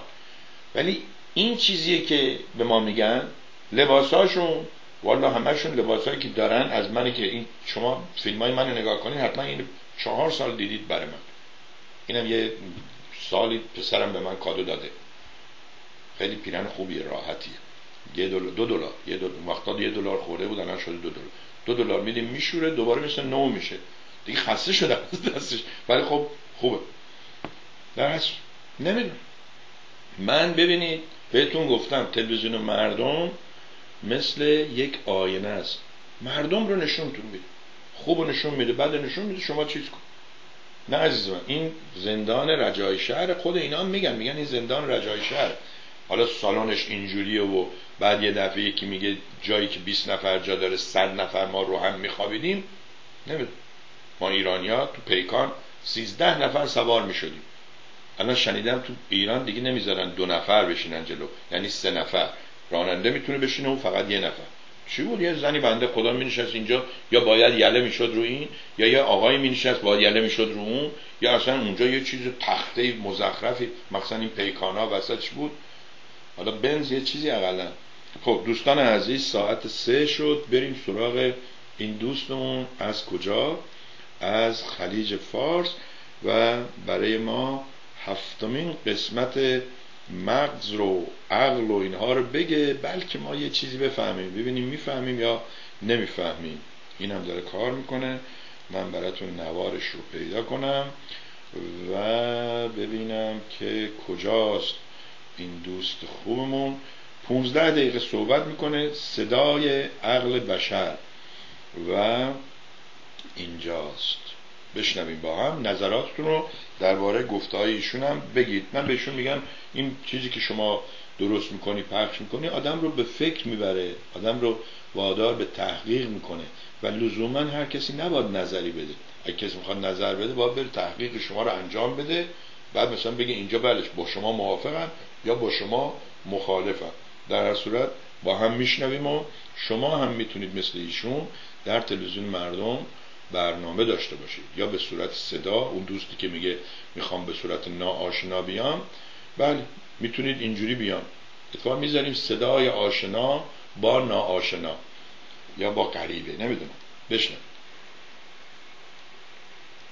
بعد از سلام و در زنجیره گفتار عقل بشر شما را به شنیدن یک مسئله اصلی مغز و تکرارش در تمام دوران تاریخ انسان دعوت می کنم بزرگترین نقص و ناتوانی مغز عدم درکش به کمبودهایش است. اگر هر انسانی به کمبودهای مغزش آشنا بود هرگز انسان ناقص کمبود دار نداشتیم و همه آدم بودیم. عدم درک کمبود مغز یک مسئله فردی و گروهی است. در نیمه قرن 19 میلادی پس از اختراع برق و هواپیما و زیردریایی و دیگر اکتشافها دانشمندان آن دوران مغرور شده تصور کردن همه چیز را دانسته اختراع و یا کشف کردند امروز دانشمندان عقیده دارند. تکرار می کنم دانشمندان عقیده دارند و تصور و سخن بیهوده نمی‌گویند. آری عقیده دارند که چیزی نمی‌دانند و اکتشاف ها و اختراع ها که امروز در هر ثانیه اتفاق میافتد تا هزاران سال دیگر پایان نمیپذیرند. با این حال اغلب انسان ها بر این تصورند که دانش کل هستند همه چیز را می‌دانند و درباره همه چیز رأی داده و فتوا صادر می کنند و مسائل را به شکل مطلق رد قبول و بیان می کنند تنها وسیله درک حقیقت نه به صورت کامل بلکه به شکلی نزدیک به حقیقت این است که گوشها را باز کرده و شنید چشمها را گوشوده و دید و خواند. از این رو باز تکرار می کنم که خواهان دانستن نظرهای شما هستم. از دانستن نظرهای مخالف بیشتر خوشم می آید و استقبال می کنم زیرا مغزم را به سوی مسئله می برد که شاید متوجهش نبوده و یا در جهتش مطالعه بحث نکرده و یا نه اندیشیده از این رو ادعای صحیح بودن درست بودن معصوم بودن و پیامبری نمی کنم آنچه را بررسی و یافتم تقدیم نموده. امیدوارم با نظرات خود آن را به سوی صحیحتر و کاملتر شدن روان کنید. متاسفانه مغز انسان و به علت تصور کامل و نقص بودن از شنیدن انتقاد خوشش نمی آید این موضوع را قبلا در گفتاری به عنوان نقد و انتقاد در تلویزیون مردم بیان کردم و لطفا به اون مراجعه کن ما انسان ها با تکرار گفتار اصول و معیارهای ارسی و فرو رفته به مغزمان همان اشتباه گذشتگان را می تکراریم با این حال می تصوریم که در انتخاب خود آزاد و مدیر کل عقل بی نقص خیش را با اطاعت کاملش در اختیار و در استخدام داریم. بررسی طولانی عقل انسان موجب شد که اقدام به همکاری با تلویزیون مردم بکنم. آقای سربی بعد از تماس خواستن جمله هایی را که خطاب به خانم فرح دیبا برای دوستی فرستاده بودم در برنامهشان بخوانند. در فیلم از قاهره به تهران خانم دیبا می‌گویند وقتی بر سر کار بودیم تصور نمی کردیم این بلاها سرمان آید. عبارت نوشتم این بود مگر قاجار زندیها افشارها صفویان و تمام سلسله پادشاهان قبلی تصور سرنگونی خیش را در تصور مغز داشتند؟ سالیان دراز برنامه های تلویزیون های ایرانیان در خارج را تماشا می کردن. با بررسی و تحلیل می‌خواستم بدانم این ایرانیان مهاجر به کشورهای مختلف دنیا تا چه اندازه تغییر کرده و گرایش فکری دیگر به دست آوردهاند. به گونه هایی با برخی تماس برقرار کردم. خلاصه هدفم درک مغز و سنجش دگرگونی این هم بود. متاسفانه کسی از مسئولین گذشته را نیافتم که جلو آمده و اشتباههایشان را شرح دهد. همه ادعای درستکاری، معصومیت و امامت و از دیگران انتقاد می کردن. با گذشت دهها سال نتوانستند فراموش کنند. دیگر آن شخصی نیستند که مردم مجبور بودند به علت مقامشان گوش به فرمانشان باشند و گفته هایشان را تایید و دستور کار بشمارند. اینان از حقیقت و واقعیت دور بودند و همانطور هم ادامه دادند اغلبشان تا کنون بازگشت و به دست آوردن مقام گذشته و ادامه اشتباه ها را در خواب می‌بینند. درون مغزشان نپذیرفتند که آن ممه را لولو برد. در این میان تلویزیون مردم را یافتم که درش بر همه باز است در یک برنامه دو طرف ضد و نقی سخن می‌گویند در حالی که عقل انسان قادر به شنیدن مسائل مختلف مخالف میلش نیست. روش این دستگاه باید ستوده شود به امید اینکه افراد معدودی روش درک و استفاده از مغزشان را تغییر و بهبود بخشند. انسان اشتباههایش را تکرار و نمی‌تواند غلط بودنش را درک کند. وقتی چشم و گوش را بسته و مایل به فراگیری نیست هنگامی که خود را کامل تصور می کند باید در انتظار بلا باشد. همانطور که امروز در آغاز گفتم ندانستن کمبود و نقص مغز سبب اصلی مشکل انسان است. در رشته ساختمان که متخصص هستم مشتریان بسیاری از سطحها و درآمدهای مختلف داشتم. همه آنچه را که از روز اول جهت طرح خانه و یا ساختمانشان خواسته و پیشنهاد می‌کردند کامل و درست می‌دانستند. هرگز مایل به قبول طرح مهندس و یا فراگیری از تجربه هایش نبودند. به ویژه ثروتمندان و یا صاحبان مقام. بیشتر از بقیه ادعای کامل و درست بودن می کنند وقتی ساخت پروژهشان تمام می‌شد و نتیجه اصرار و اصرار برآوردن پیشنهادهایشان را هنگام طرح در سرانجام کار می‌دیدند به اشتباههایشان پی می بردن. با این حال اعتراف به اشتباه نکرده و هنگام شرح حال با دیگران مهندس را مسئول بدیها معرفی می‌کردند. مهندس مشاوری که رأیش را نشنیده اند یعنی شعور درونیشان قادر به اعتراف و فراگیری از اشتباه نیست. بدون درک بدون درک ناتوانی و اعتراف به اشتباه با غیبتگویی از مهندس و متهم شناختنش آرامش درونی را به سادگی میابند یکی از مشتریان که خانه پر ادعا به فهم و دانش بود گفت اگر پول داشتم خانه را خراب و از نو طوری دیگر می ساختم این خانم باز هم اشتباه می کرد شعور و فهم نداشت که درک کند آنچه فرا گرفته و یا تجربه کرده از تر و ساخت یک پروژه است و نه یک تجربه گسترده که در اثر تنها یک تجربه تکامل نیافته و نخواهد یافت. انسان خریدار تجربه و درک و پند و فراگیری نیست. اگر تجربه هم به دست آور به علت لجبازی روانی و عدم شناخت از انباشته های مغز خیش امکان تکرار اشتباه در همان مسئله تجربه شده باز بسیار است.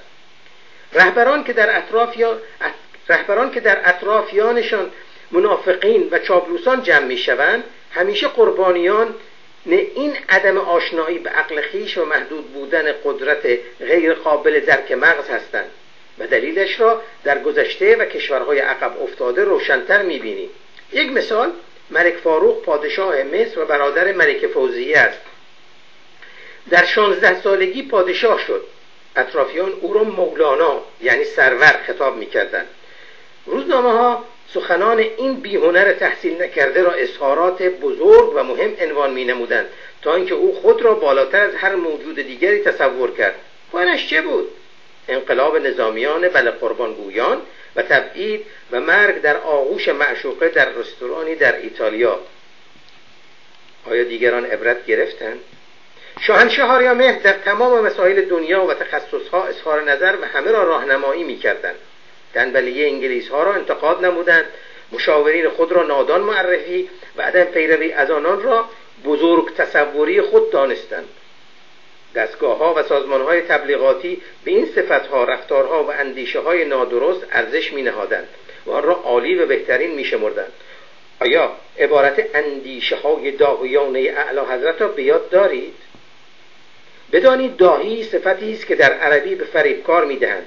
من نتوانستم بفهمم چه شخصی این کلمه عربی را در فرهنگ شاهنشاهی وارد کرد یا شنوندگان ایرانی عربی ندان آن را چگونه فهمیدند این طرز فکر شاهانه و تبلیغات در حالی رخ می‌داد که ایشان تحصیل نکرده و فکر نکنم کتابی هم خوانده باشند. ششمین چاپ کتاب سیاستنامه خاج نظام بنا به دستور ایشان انجام پذیرفت. وقتی متن دستور اعلی حضرت را در اولین صفحه کتاب خواندم با خود گفتم اگر این آقا همین کتاب را خوانده بود و فهمیده بود تا شاه بود. این غرور بیجا در درک و تصور کامل بودن مغز موجب بلاهای انسان می شود این واقعیت را در صفحه های اینترنت و هنگام نظر دادن خوانندگان می توان به سادگی یافت. اغلب به جای پاسخ رد و یا اظهار نظر درباره موضوع دشنام داده بدگویی کرده و نسبت مزدوری و انواع ها به یک طرف و یا گروه می‌دهند. این روش که خیلی معمول است نشان از نافهمی و بشعوری مغز می باشد بدون درک بروز می دهد که اظهار کننده انسانی متعصب با دیدی کوتاه است.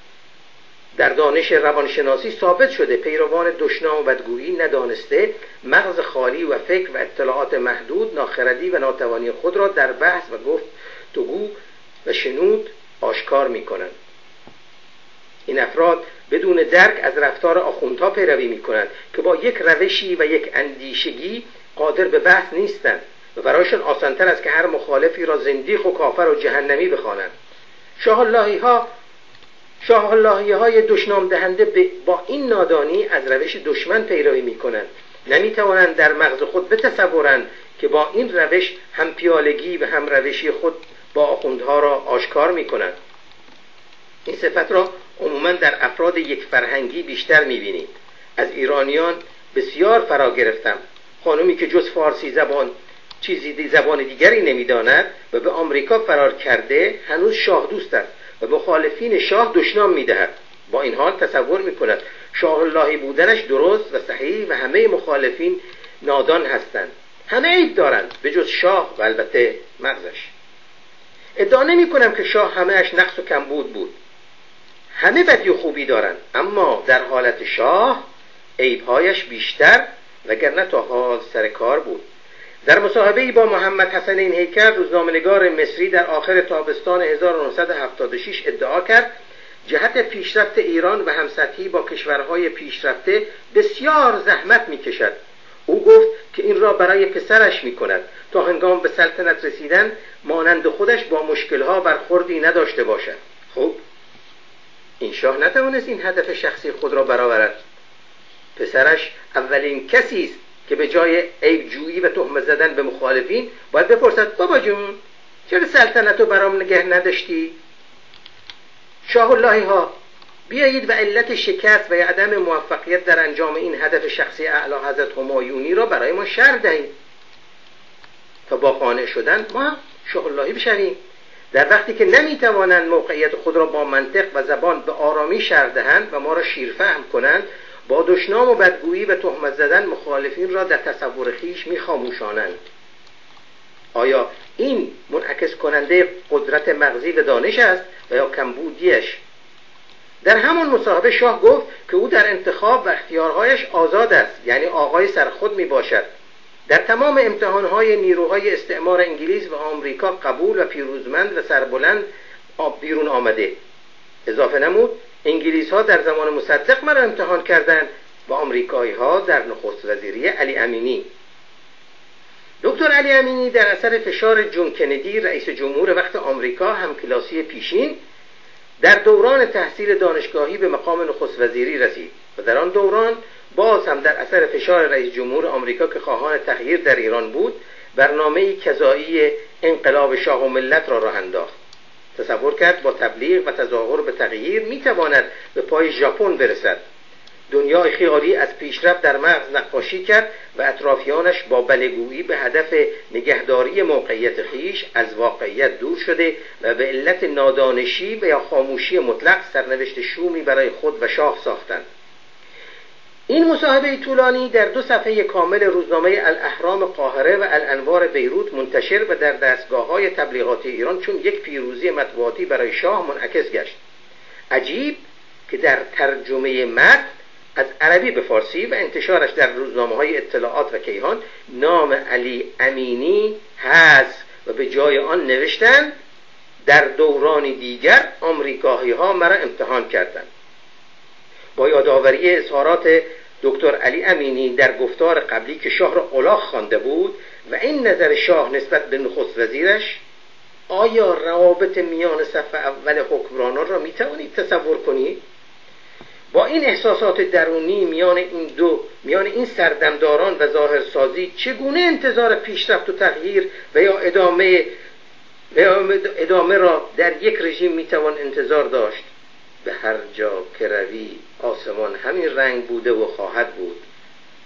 دروغ به خود و رفتار خلاف به عقیده شخصی و انکار برداشت ها هنوز در مغز انسان قابل درک نیست و هنگام انجامش به علت کوته نظری آن را نوعی زرنگی می شمارد این اشتباهات تکراری است و در تمام دوران اتفاق افتاده. اما این انسان خواهان فراگیری نیست. مانند روز اول و چون نخستین فرعون خود را مقدس و جاویدان تصور می کند آیا این مغز انسان که انبار اشتباه ها می باشد تغییرش ممکن است؟ امیدوارم خود به این سوال پاسخ دهید. با پیوستن به ما در برنامه های آینده بیشتر این مغز را خواهید شناخت. خوش و تندرست باشید. ممنونم از این دوستمون و یه سوالی که از من شده بود و من یادم رفت به شما بگم اینه که میگن چرا شما مثلا به جای تصور می‌کنیم شما میگید می تصوریم و خیلی ساده است. مثلا ما شیرازی ها دوست دارم میگیم دوستت میدارم. ولی برای این دوستان شما توضیح بدید. مثلا تو همین برنامه امروز نوشتید می‌گفتید می تکراریم به جای تکرار می‌کنیم یا می تصوریم. دو سه جای دیگه هم باز چیزای اینجوری گفتید. کدومش درسته؟ اینی که شما میگید درسته یا اونی که دوستان میگن درسته؟ کدومش غلط غلط مصطلحه و الی آخر. دوستان عزیز ساعت سه و بیست و سه دقیقه است و امیدوارم که از این صحبت هایی که این دوستمون می‌کنه مخصوصا افرادی که طرفدار پادشاهی هستن یه مقداری به خودشون بیان. و نمی‌دونم واقعا چه بعضی هم خب دیگه سن بالا خود من خیلی چیزا دیگه اصلا حاضر نیستم قبول کنم. اصلا نه تحملش دارم نه زحمت می‌خوام بکشم. ولی وقتی یه چیزی رو عوض می‌کنم و یاد می‌گیرم خیلی خوشحال میشم. شما هم امتحان کنید. شاید شما هم خوشحال شد. شاید بهتون ساخت. و می تکراریم می تصوریم بله. اینو لطف کنید به ما توضیح بدید. ممنون متشکرم. نویسنده ای کتابش رو خورد. می‌دونید که بعضی وقتا بعضی ها یه شرط هایی میبندن. مثلا آقای میبودی قبل از انتخابات آقای احمدی نژاد به خاطر قیافه و صورت و شکل ایشون میگو که اگر این انتخاب بشه من دیگه این رادیو تلویزیون رو میبوسم و می‌ذارم کنار. در رابطه با انتخابات انگلستان و برگزیت و اینها اخراج یعنی خارج شدن انگلستان از اون اروپای متحد یه نویسنده ای گفته که من اگر به اصطلاح اینه که میگم انجام نشه کتابم رو می‌خورم. و حالا دعوتش کردم جلو دوربین کتابش رو می‌خوره. و من برای این دوستمون آقای سامتینگ ستار نوشتم که ای کاش ایرانی هم که شرط بندی های اینجوری می‌کردن اقلا صورتشون عرق می‌کرد و خجالت میکشیدن. مثلا یکی مثل آقای میبودی هشت سال آقای احمدی نژاد رئیس جمهور بود و شما هشت سال نشستید حرف زدید. چهار سال روحانی رئیس جمهور یعنی قولی رو که دوازده سال دادید عمل نکردید. و اونایی که به حرفای شما و این مدرسه موش ها گوش می‌کنن دیگه ببینید کیا هستن.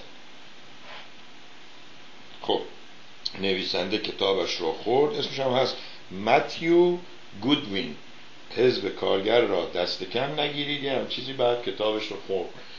آقای زلفقاری نوشته آقای سوری عزیزا می مسئله استمراری و ادامه است. می استمرار. بله خیلی ممنون ولی می‌دونم مثلا ما شیرازی ها وقتی میگیم من دوست میدارم شما تهرونی ها فکر می‌کنین شما درست میگین. در شما میگید دوست دارم غلطه. خلاصه آقای زلفقاری تشکر از پیغامی که گذاشتید. اول برنامه به دوستان گفتم که شما لطف کردید. یا چهارشنبه اگر الان می‌تونید همینجا بنویسید تا اعلام کنیم چهارشنبه سه بعد از ظهر دوازده ظهر به وقت شما با ما باشید تا درباره این نشست ها که میان نه اون نشست های معمولی که دور هم جمع میشن به نظر من اونا اشکالی نداره ولی این نشست هایی که میان تبلیغ می‌کنن که در کنگره هستیم خوشحالن که یه نفر از CIA یا FBI اومده نظرتون رو در این مورد با دوستان یا روز چهارشنبه ساعت دوازده ظهر به وقت کالیفرنیا یا جمعه هر کدومش که برای شما بهتره. یا اگر وقت کردید توی برنامه رادیویی پیامی گذاشتید و گفتید اونو برای من بفرستید با عکستون با اطلاعات صفحه فیسبوک پخش می‌کنم. و دوستان عزیز اگه افرادی مثل آقای مهدی زلفقاری که امتحان خودشون رو در رادیو تلویزیون ها پس دادن اینها الان رادیویی دارن یه جایی نوشته ای کاری انجام میدن دوست داشته باشن صحبت کنن. من با کمال میل برنامه های اینها رو مجانی پخش می‌کنم. چون احتیاج نیست من اینجا باشم.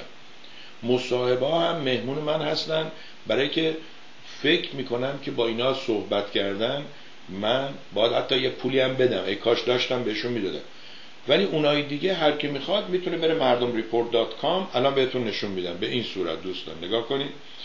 مردم report dot com اونجا ویدیوهاتون رو بذارید مجانی و اونجا ما مثل آقای یزدان خدابندلو هی نوشته های خودمون رو نمی‌ذاریم بالا. چون ما راه حلش رو پیدا کردیم. آقای یزدان خدابندلو نمی‌خواد قبول کنه که آقا این کاری که می‌کنید اشتباهه. ببینید ما اومدیم این صفحه مردم ریپورت رو گذاشتیم اینجا.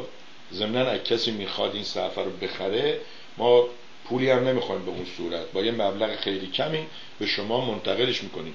این یه به اصطلاح سکوی ارتباطات ارتباطی خوبیه که از سال 2009 تا حالا اسمش رو اینترنت هست مردم ریپورت ببینید آقای خداوندلو ما تو صفحه اینجا خودمون و برنامه خودمون رو اینجا گذاشتیم ولی به دوستان نوشتیم شما هم می توانید ویدیوهای دلخواه خود را مجانا در این صفحه قرار دهید.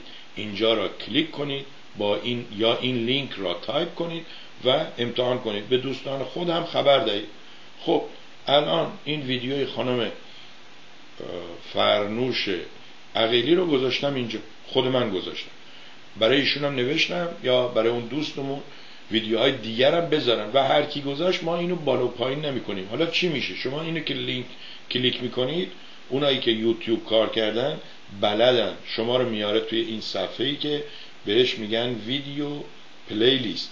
و اینجا ما حقیقتا کاری انجام نمیدیم. اینا امکاناتیه که اصل کامپیوتر برای همین بود که کامپیوتر درست بشه. شما شب روز صبح وقت وقت بدون اینکه یه نفر اونجا نشسته. چرا بانک ها الان 24 ساعته شما می‌تونید دیپازیت کنی برداشت کنی ترانسفر کنی پولتو پرداخت کنی ولی اون موقع نه. یادمه آلمان قبض بر برای من که میمد با بلند می‌شدم. پیاده می‌رفتم تو بانک پول رو پرداخت می‌کردم. الان 4 تا 5 تا قبض می‌ذاری تق تق تق تق پرداخت می‌کنی یه دقیقه هم نمیشه. ببینید شما میایین اینجا میگه که ویدیو اد. اینجا کلیک می‌کنید. اگه ویدیوتون روی چیز هست که به شما تا بزنید ویدیوهای خودتون ویدیوهای خودتون رو اینجا ردیف می‌کنه. چون من الان از صفحه خودم به نام سوربی یا مردم تیوی اومدم ویدیوهای من رو نشون میده. اون وقت اون ویدیو رو می‌ذارید اونجا. دیگه والا ما نمی‌دونیم چی کار می‌تونیم برای شما انجام بدیم. مجانی ویدیو درست کنید بذارید چی می‌کنید؟ اگر ما ویدیوهاتون رو دیدیم خوبه بله مجانی بازم نشون میدیم چون اون هم نمی‌خواد من بشینم اینجا. ماکسیمومش ضبطش می‌کنم میذارمش تو سیستم. ولی اگه شما به من گفتی مثل آقای یزدان خداوندلو چهارشنبه ساعت چهار از اینجا باش من اون روز به خاطر 100 دلار شما به خاطر 200 دلار شما ممکنه یک کار 500 600 دلاری رو بگم نه آقا نمیام من به دوستم قول دادم. ببخشید دوستان عزیز به دوستمون قول دادیم. ساعت سه و نیمه بعد از ظهر هست. بریم با هم فرانسه و سراغ آقای جهانگیر شادان رو من در رادیو پویا برنامه دارم. در خدمت آقای وحید بدی خوشحال میشم. لینکشو برای من بفرستید. من ضبطش می‌کنم. اگه با عکس باشه با عکس اگه نه چیز می‌کنم. من بارها گفتم یکی از کسایی که روز قیامت یقش رو می‌گیرم میگم تو مسئولی که من اومدم تو تلویزیون های ایرانی همین آقای مهدی زلفقاری. دوستان عزیز با آقای جهانگیر شادانلو هستیم که به نام جهان شادانلو هم می‌تونید تو فیسبوک ببینیشون. خیلی خوشحالم که امروز تصویر هم دارین و جمعه ها مثل ترافیک پاریس شما رو یاد ترافیک ایران میندازه و می‌خواد می‌خواد خیلی احساس قربت نکنید. آقای شادانلو با شما هستیم. سلام می‌کنم. خوش آمد میگم. و بعدم می‌خوام ازتون یه سوال بکنم. چرا ایرانی ها فکر می‌کنن فرانسوی ها با ما خیلی نزدیک هستن از لحاظ فرهنگ و اینها؟ شما که سالهای سال هست اونجا بودید و هستید. بفرمایید آقای شادانلو ولی برنامه امروز راجع به کنفرانس استانبول هست. که دوستان پنج روز فیلمشو نشون دادم و راجع به شخصی به نام پیمان عارف که میکروفون در اختیار آقای شادانلوست بفرمایید. با سلام خدمت شما و بینندگان محترم تلویزیون مردم. اول من یک تبریک و یک تسلیت به مردم عزیز و شریف ایران میگم. تبریکش به خاطر پیروزی فوتبال ایران بر ازبکستان و رفتن به جام جهانی برای دوباره متوادی و افتخار بزرگی بود خوشحالم که هموطنان من خوشحال شدن امروز و الان در حال شادی کردن هستن به خاطر این بود و تسلیت به خاطر ترورهای کور داعش حالا داعشی های خارج و داعشی های داخل و کسانی که این فاجعه رو به وجود آوردن هنوز به طور کامل مشخص نیست واقعا که چه کسی و چه کسانی دست داشتن. درست پنج تا ایرانی کشته شدن. کشته بودن اسامیشون دادن و از دوستانی های کرد بودن. ولی هیچ مدارکی موثقی نیستش که چرا این عمل انجام شده. در مجلسی که حتی یک گفته یکی از شاهدانی که مجروح شده بوده از مجروحان که حتی یک خودکار رو نمی‌ذارن ببریم چطوری اینا تونستن به این همه مهمات و وارد اینجا بشن؟ که اینا همش خودش مسئله است. و مثل رژیم شاه که هر کاری می‌کرد اتفاق میافتاد چون مردم رژیم رو نمی‌خواستن گفتن کار رژیمه. اینجا الان هر اتفاق بدی که میفته میگن کار رژیمه.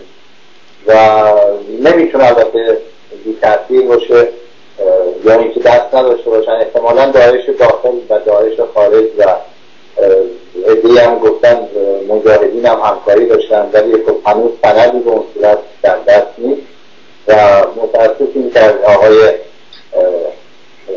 رهبر بیلیاقت ایران میاد و کشته شدن 17 نفر زخمی شدن 50 نفر را یک طرف بازی می‌کنه به جای اینکه بیاد هم عذرخواهی بکنه از این اتفاقی که در مملکت افتاده که همه چی دست ایشون هست و هم تسلیت بگه به خانواده های داغدار عزیزان. این صحبت سخیف انجام میده. رهبر بیدستیت واقعا و امیدوارم که از این اتفاقات برای مردم ما دیگه نیفته و این آخرین باشه تا سقوط این رژیم انشاءالله خب جا میریم سراغ این مطلب کنفرانس ترکیه. چرا من می‌خواستم راجع به این صحبت کنم؟ به دلیل اینکه مطالبی که پخش شد چند روز قبل از این کنفرانس و بعد از کنفرانس البته تمام اینا مقدار زیادش توسط همین شخصی که شما گفتید آقای پیمان عارف که خودشو ملی و مخالف رژیم نشون میده توسط ایشون پخش شده. ایشون تقریبا یک ماه قبل از این کنفرانس با من تماس گرفتن و گفتم این کنفرانس شما نیایید. گفتم چرا؟ گفتن که چون این مربوط به میت ترکیه یعنی وزارت اطلاعات ترکیه گفتم خب شما یه دلیل مدرکی یه چیزی بدید باشه اگه همچیزی باشه تو مسلما نخواهم به اضافه که با خیلی دیگر تماس گرفته و این البته سومین جلسه بوده که این انجمن نگام یا دوستانی با نام نگام در ترکیه فعالیت می‌کنن. سومین برنامه بوده. اولین برنامه را خود آقای عارف شرکت داشته در اونجا. و بعد از اون برنامه اختلاف پیدا می‌کنن. و آقای زم هم در زم بوده آقای روح الله زم. و اینها با هم بودن. البته آقای عارف وقتی که به ترکیه میاد ایشون دنبال آقای شمس دکتر شمس مسئول همین مجموعه نظام هستن. دنبال ایشون میگرده سراغشون می‌گیره و بالاخره پیدا می‌کنه و با ایشون دوست میشه. و اینطوری که دوستانی گفتن متاسفانه یک در این دوستان نخواستن اسمشون گفته بشه و به خیلی اطلاعات در این مدت به من دادن. و اینها میگن آقای پیمان عارف پول زیادی از آقای شمس طلب کرده بوده که به خاطر همکاری و آقای شمس همشون نداشته به ایشون جواب منفی داده و از اون تاریخ ایشون میشه دشمن آقای شمس. و اعلام می‌کنه که آقای شمس با اطلاعات ترکیه کار می‌کنه و دیگه جلساتی که می‌خواستم بذارن چند نفر رو باشون صحبت می‌کنه که آمدنشون رو منتقی می‌کنن در جلسه دوم و در جلسه سوم. باز با چندین نفر تماس بکنن از جمله من. من با ایشون صحبت کردم چندین بار و گفتم خب اگر یعنی روزای آخر بود گفتم خب چیزی من ندیدم که ایشون ترکیه پول هزینه برای این مسئله پرداخت کنه و دلیلی هم نمی‌بینم که ترکیه اطلاعات ترکیه بیاد به یک سری ایرانی که مخالف رژیم هستن به پول بده یا براشون جلسه ای من قبل از اینکه برم دو, دو یکی دو روز قبل از این که با اونجا برم با آقای عارف تماس گرفتم و گفتم که خب اگر اینطوری هست و شما مطمئن هستی از صحبت که می‌کنید. بیایید استانبول منم میام اونجا آقای شمس هم هست. بشینیم با هم و صحبت شما بکنیم مثلا حلش بکنیم. گفت باشه اگر بتونم حتما میام و بله چرا نه خلاصه چندین بار که صحبت کرد تا هر رفتن این مسئله من تقریبا برام مشخص شده که ایشون میاد در استانبول در آنکارا هستم بعد اونجا که رسیدم با تماس گرفتم ایشون تماس گرفتن و متاسفانه بعد گفتم نمی‌تونم بیام. شما بیایید گفتم که شما یعنی من. گفتم شما خود تنها بیایید اینجا منزل ما. گفتم نه من می‌خواستم برای این مسئله این مشخص بشه. حالا انشاءالله میام دفعه بعد میام ولی الان این مسئله ما فردا اینجا جلسه هست رو باید باشیم. نمیشه رو.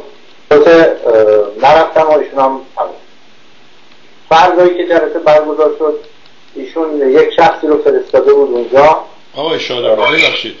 قبلش به ما بگید چجوری شما رو دعوت کردن؟ آشنای شما با آقای شمس یا با اون آقای کی گفتید؟ روح الله زه زن. این چجوری بوده؟ اصلا بدون وقتی که دعوت می‌کنن الان تو آمریکا رسمه میگن به چه مناسبت کجا کی چه خبر؟ اینو بگید که بعد به من بگید آقای عارف از کجا فهمید که شما دعوت شدید با تماس گرفت؟ بله. بله درسته باید آقای شمس خب چون من بالاخره سالها از اول انقلاب تا الان دوست هستم با آقای بنیستر و افتخار اینو دارم که با ایشون بشم خیلی و دوستی داشتیم به یه خبرنگاری که در ترکیه بود. ایشون مدت ها با من در تماس بود. بعد گفته ما باید یک کاری حتما انجام بدیم مخصوصا نزدیک ایران. و از این حالت این اپوزیسیون رو در بیاریم بشه یه اپوزیسیون فعالی که مردم در داخل هم ببینن کسانی واقعا هستن که مملکتشون رو عرق دارن و دنبال خارجی نیستن دنبال خیانت نیستن.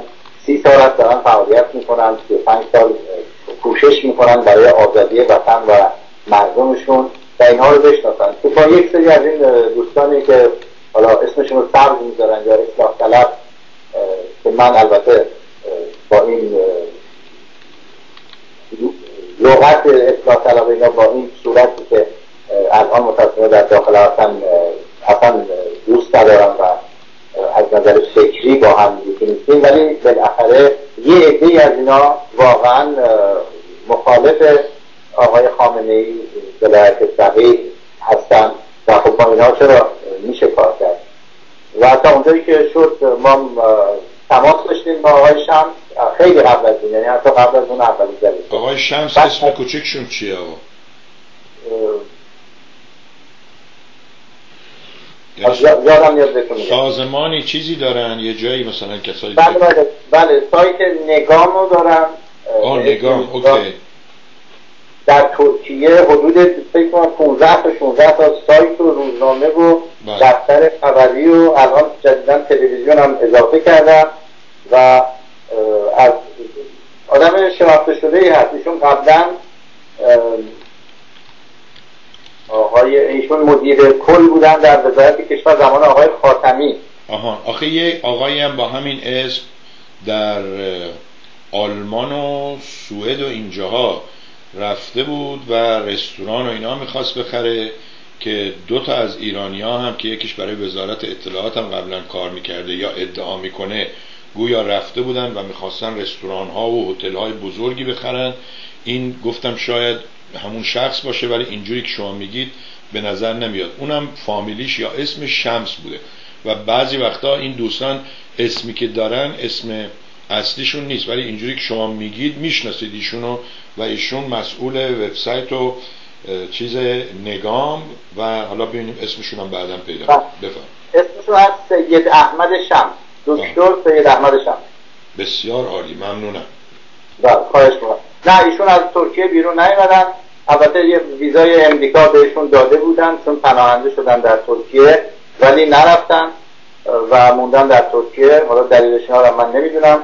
و فعلا اونجا هستن. اینطوری که گفتن یه بار به من به خاطر خانوادهتون به چند فرزند دارن در ایران و نزدیک اونجا باشن که اونا هم بتونن بیان ببینن. خودتون نمی‌تونن ایران برن در اونجا هستن و با من چندین بار ایشون تماس داشتن صحبت کردن روی اسکایپ تلفنی و تا بعد به من گفتن که یه همچین جلسه هست. البته اینم بالا بگم چون بعد ممکنه بگم چرا نگفتیم. قرار بود جلسه هم باشه که آقای بنی هم در اونجا صحبت کنن شرکت کنن در ترکیه.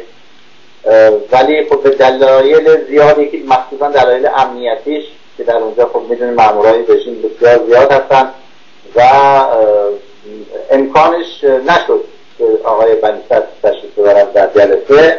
و بعد به من گفتن که ما اگر شما رو دعوت کنیم میایید که بنده گفتم بله اشکالی نداره بیام شما رو از نزدیک ببینم بشناسم. و اگر بشه کاری کرد که چرا نه. بعد خب ایشون هم وقتی بفرمایید. من صحبتی ندارم دارم گوش میدم.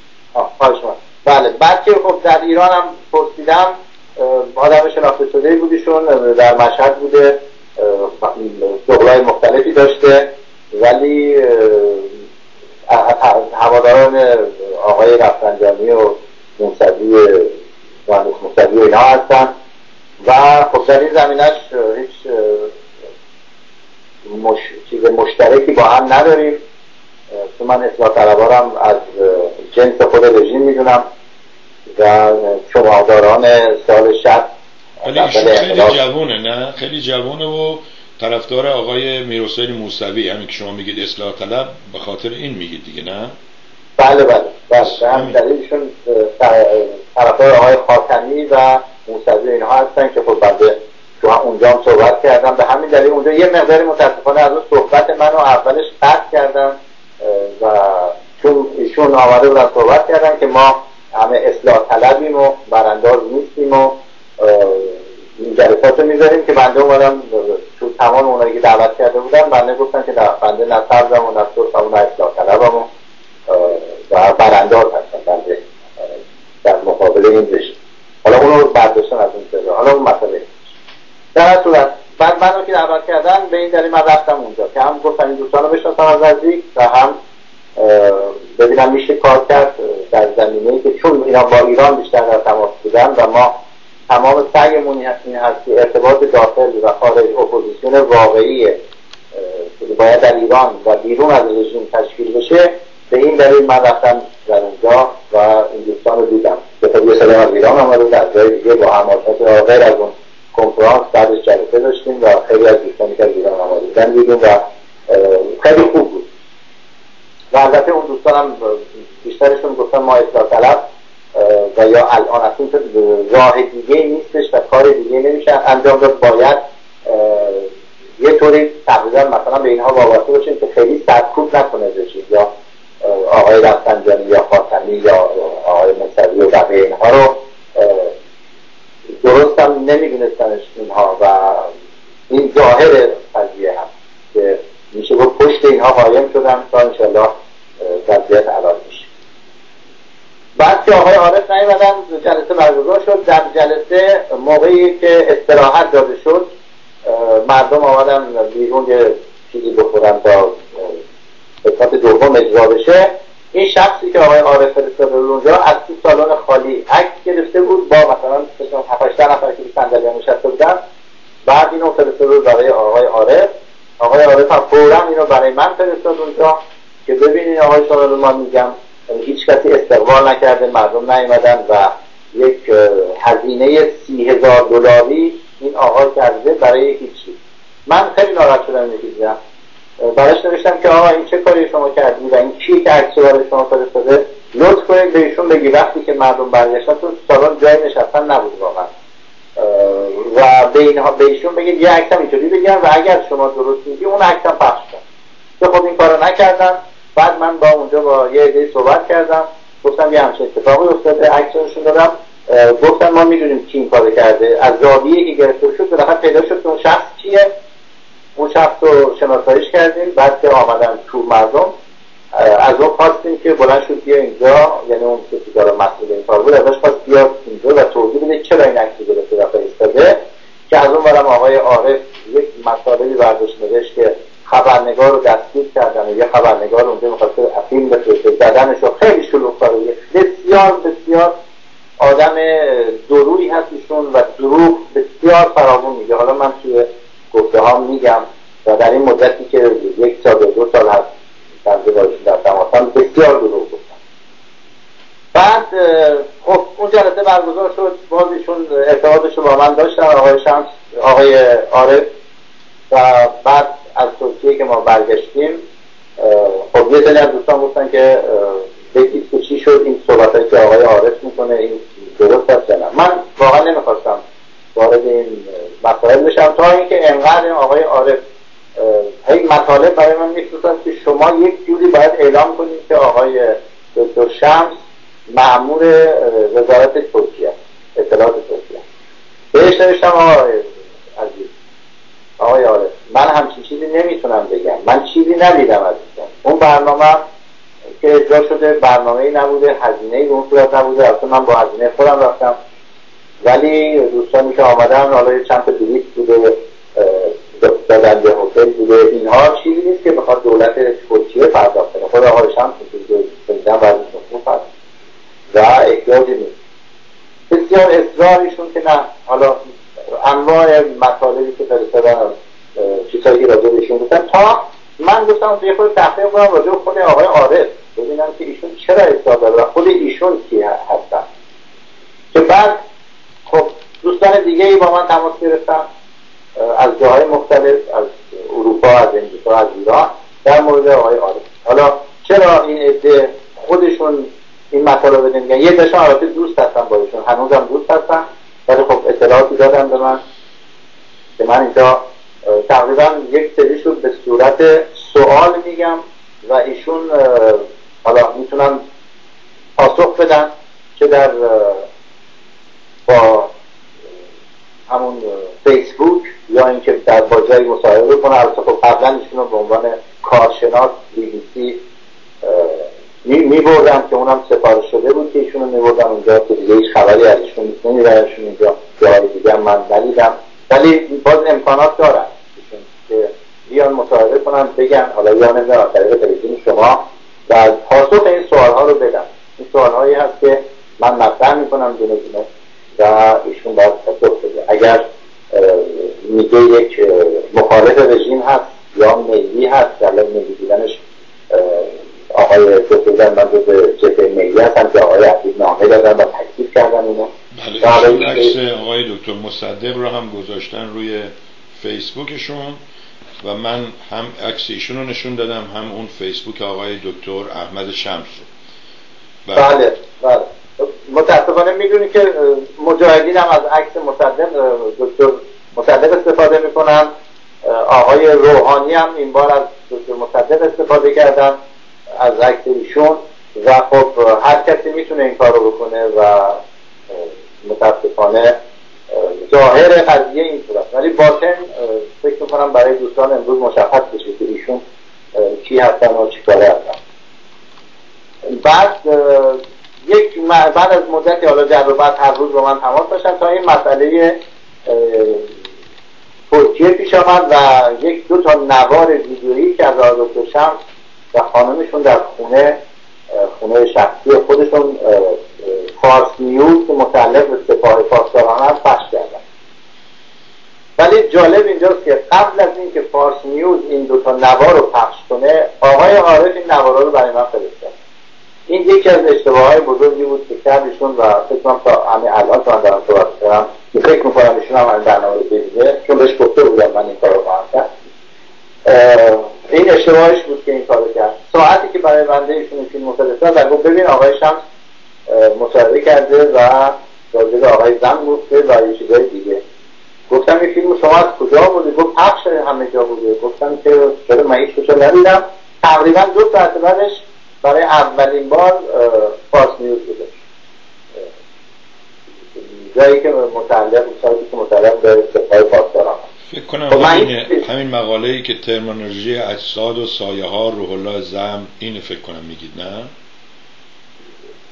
فکر می‌کنم. الان الان دقیقا یادم نیست ولی فیلمش روی یوتیوب هست میفرستم براتون. من اگه شما لطف کنید بعدا لینکش رو زیر برنامه خودتون رو فیسبوک بذارید خیلی راحت تر میشه. بله بله.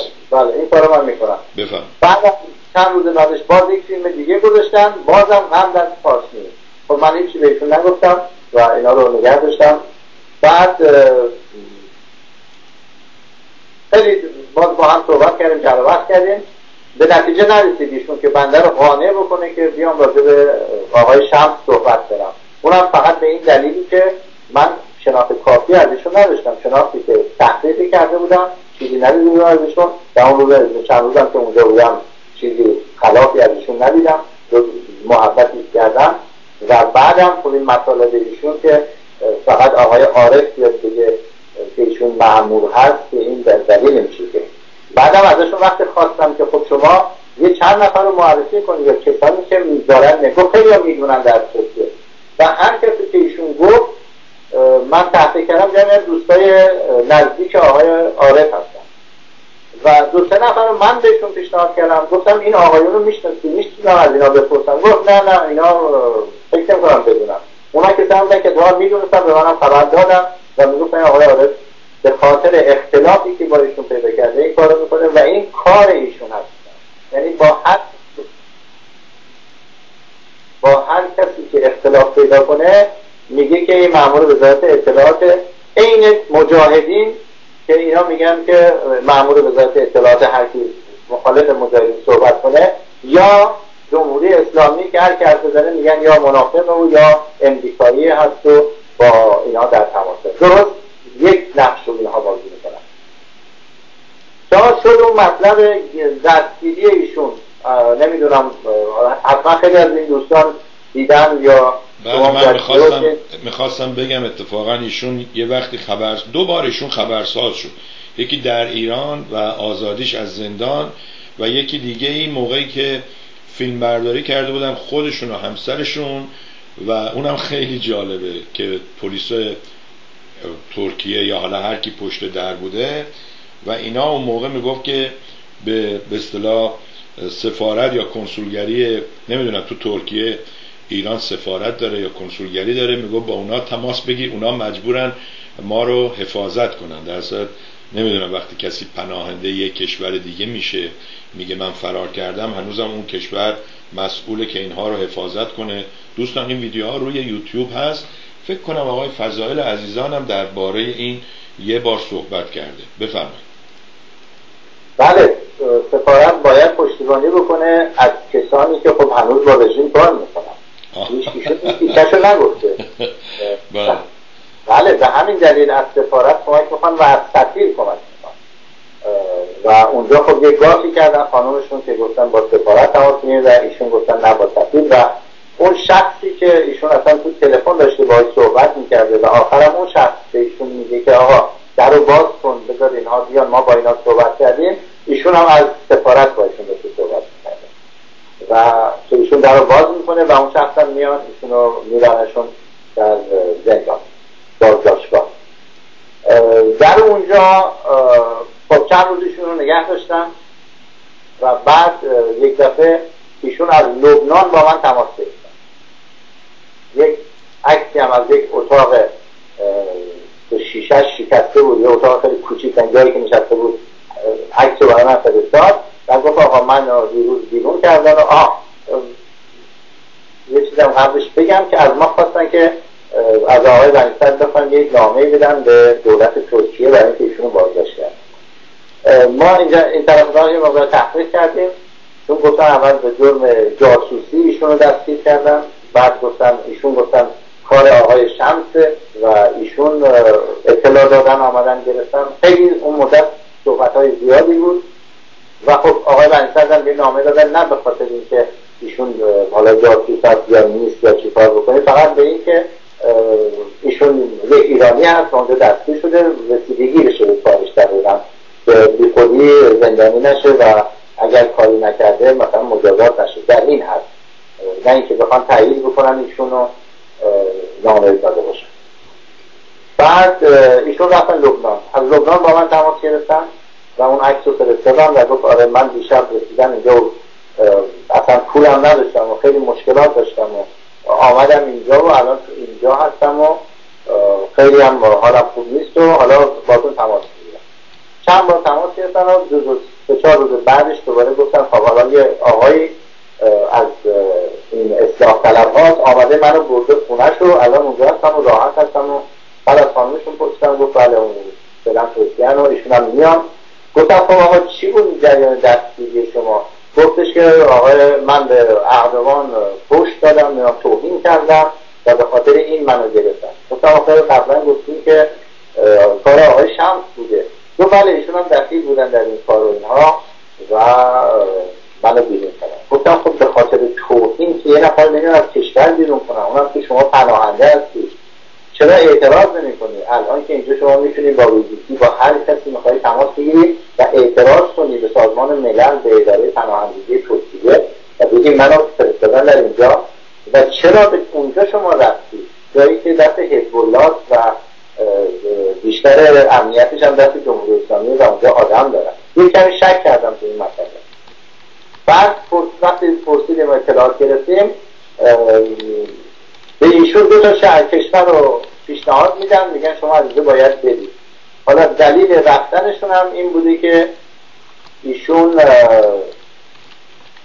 در سفارت جمهوری اسلامی زمانی که سفیر سال 96 یا 94 94 حالا اینو جز سوال هست یاد پاسخ سفیر وقتی می‌خواد توضیح بشه و از ترکیه برگرده بره ایشون جز مهمونایی بوده که در سفارت دیده عکس ایشون رو میدن به پلیس ترکیه و بهشون هم میگن اینجا ایشون با این پانتورکیستا و یک سری آدم ها همکاری داره و کسانی رو که اینجا میان پناهنده میشن ایشون ازشون پول می‌گیره و یک سری اطلاعات کارهایی که می‌کرده رو میدن به پلیس. اون ایرانیایی که اونجا هستن که من واقعا هنوزم نمی‌دونم چیا این کارو کردن و پلیسشون رو دستگیر می‌کنه و بیرون خب ایشون حاضر نشد با هیچ تلویزیون مصاحبه کنه. هیچ دادخواستی بخواد که چرا من از کشوری که آمدم و پناه هستم بیرون کنم؟ که این یک سوال بسیار بزرگه که ایشون باید پاسخ بده. اگر مایل بودن اگر نه من مسئله سوالای دیگه هست. میگم و بعد خود مردم گذارستم و اینم چرا من این کارو کردم؟ گفتم یکی شهادایی که در اون کنفرانس بودم و دو به دلیل اینکه رژیم روحانیت در ایران سی و هفت ساله که داره این کار رو با اپوزیسیون انجام میده آدم های خودش رو مدت اونجا زندانی می‌کنه دستگیر می‌کنه و اینا رو به صورت تواب میفرسته این طرف اون طرف که به اپوزیسیون ها وارد بشن و نذارن هیچ اتفاقی بیفته و نتونن چهار نفر دور هم جمع بشن. الان وضعیتی که ایشون در ترکیه به درست همینه.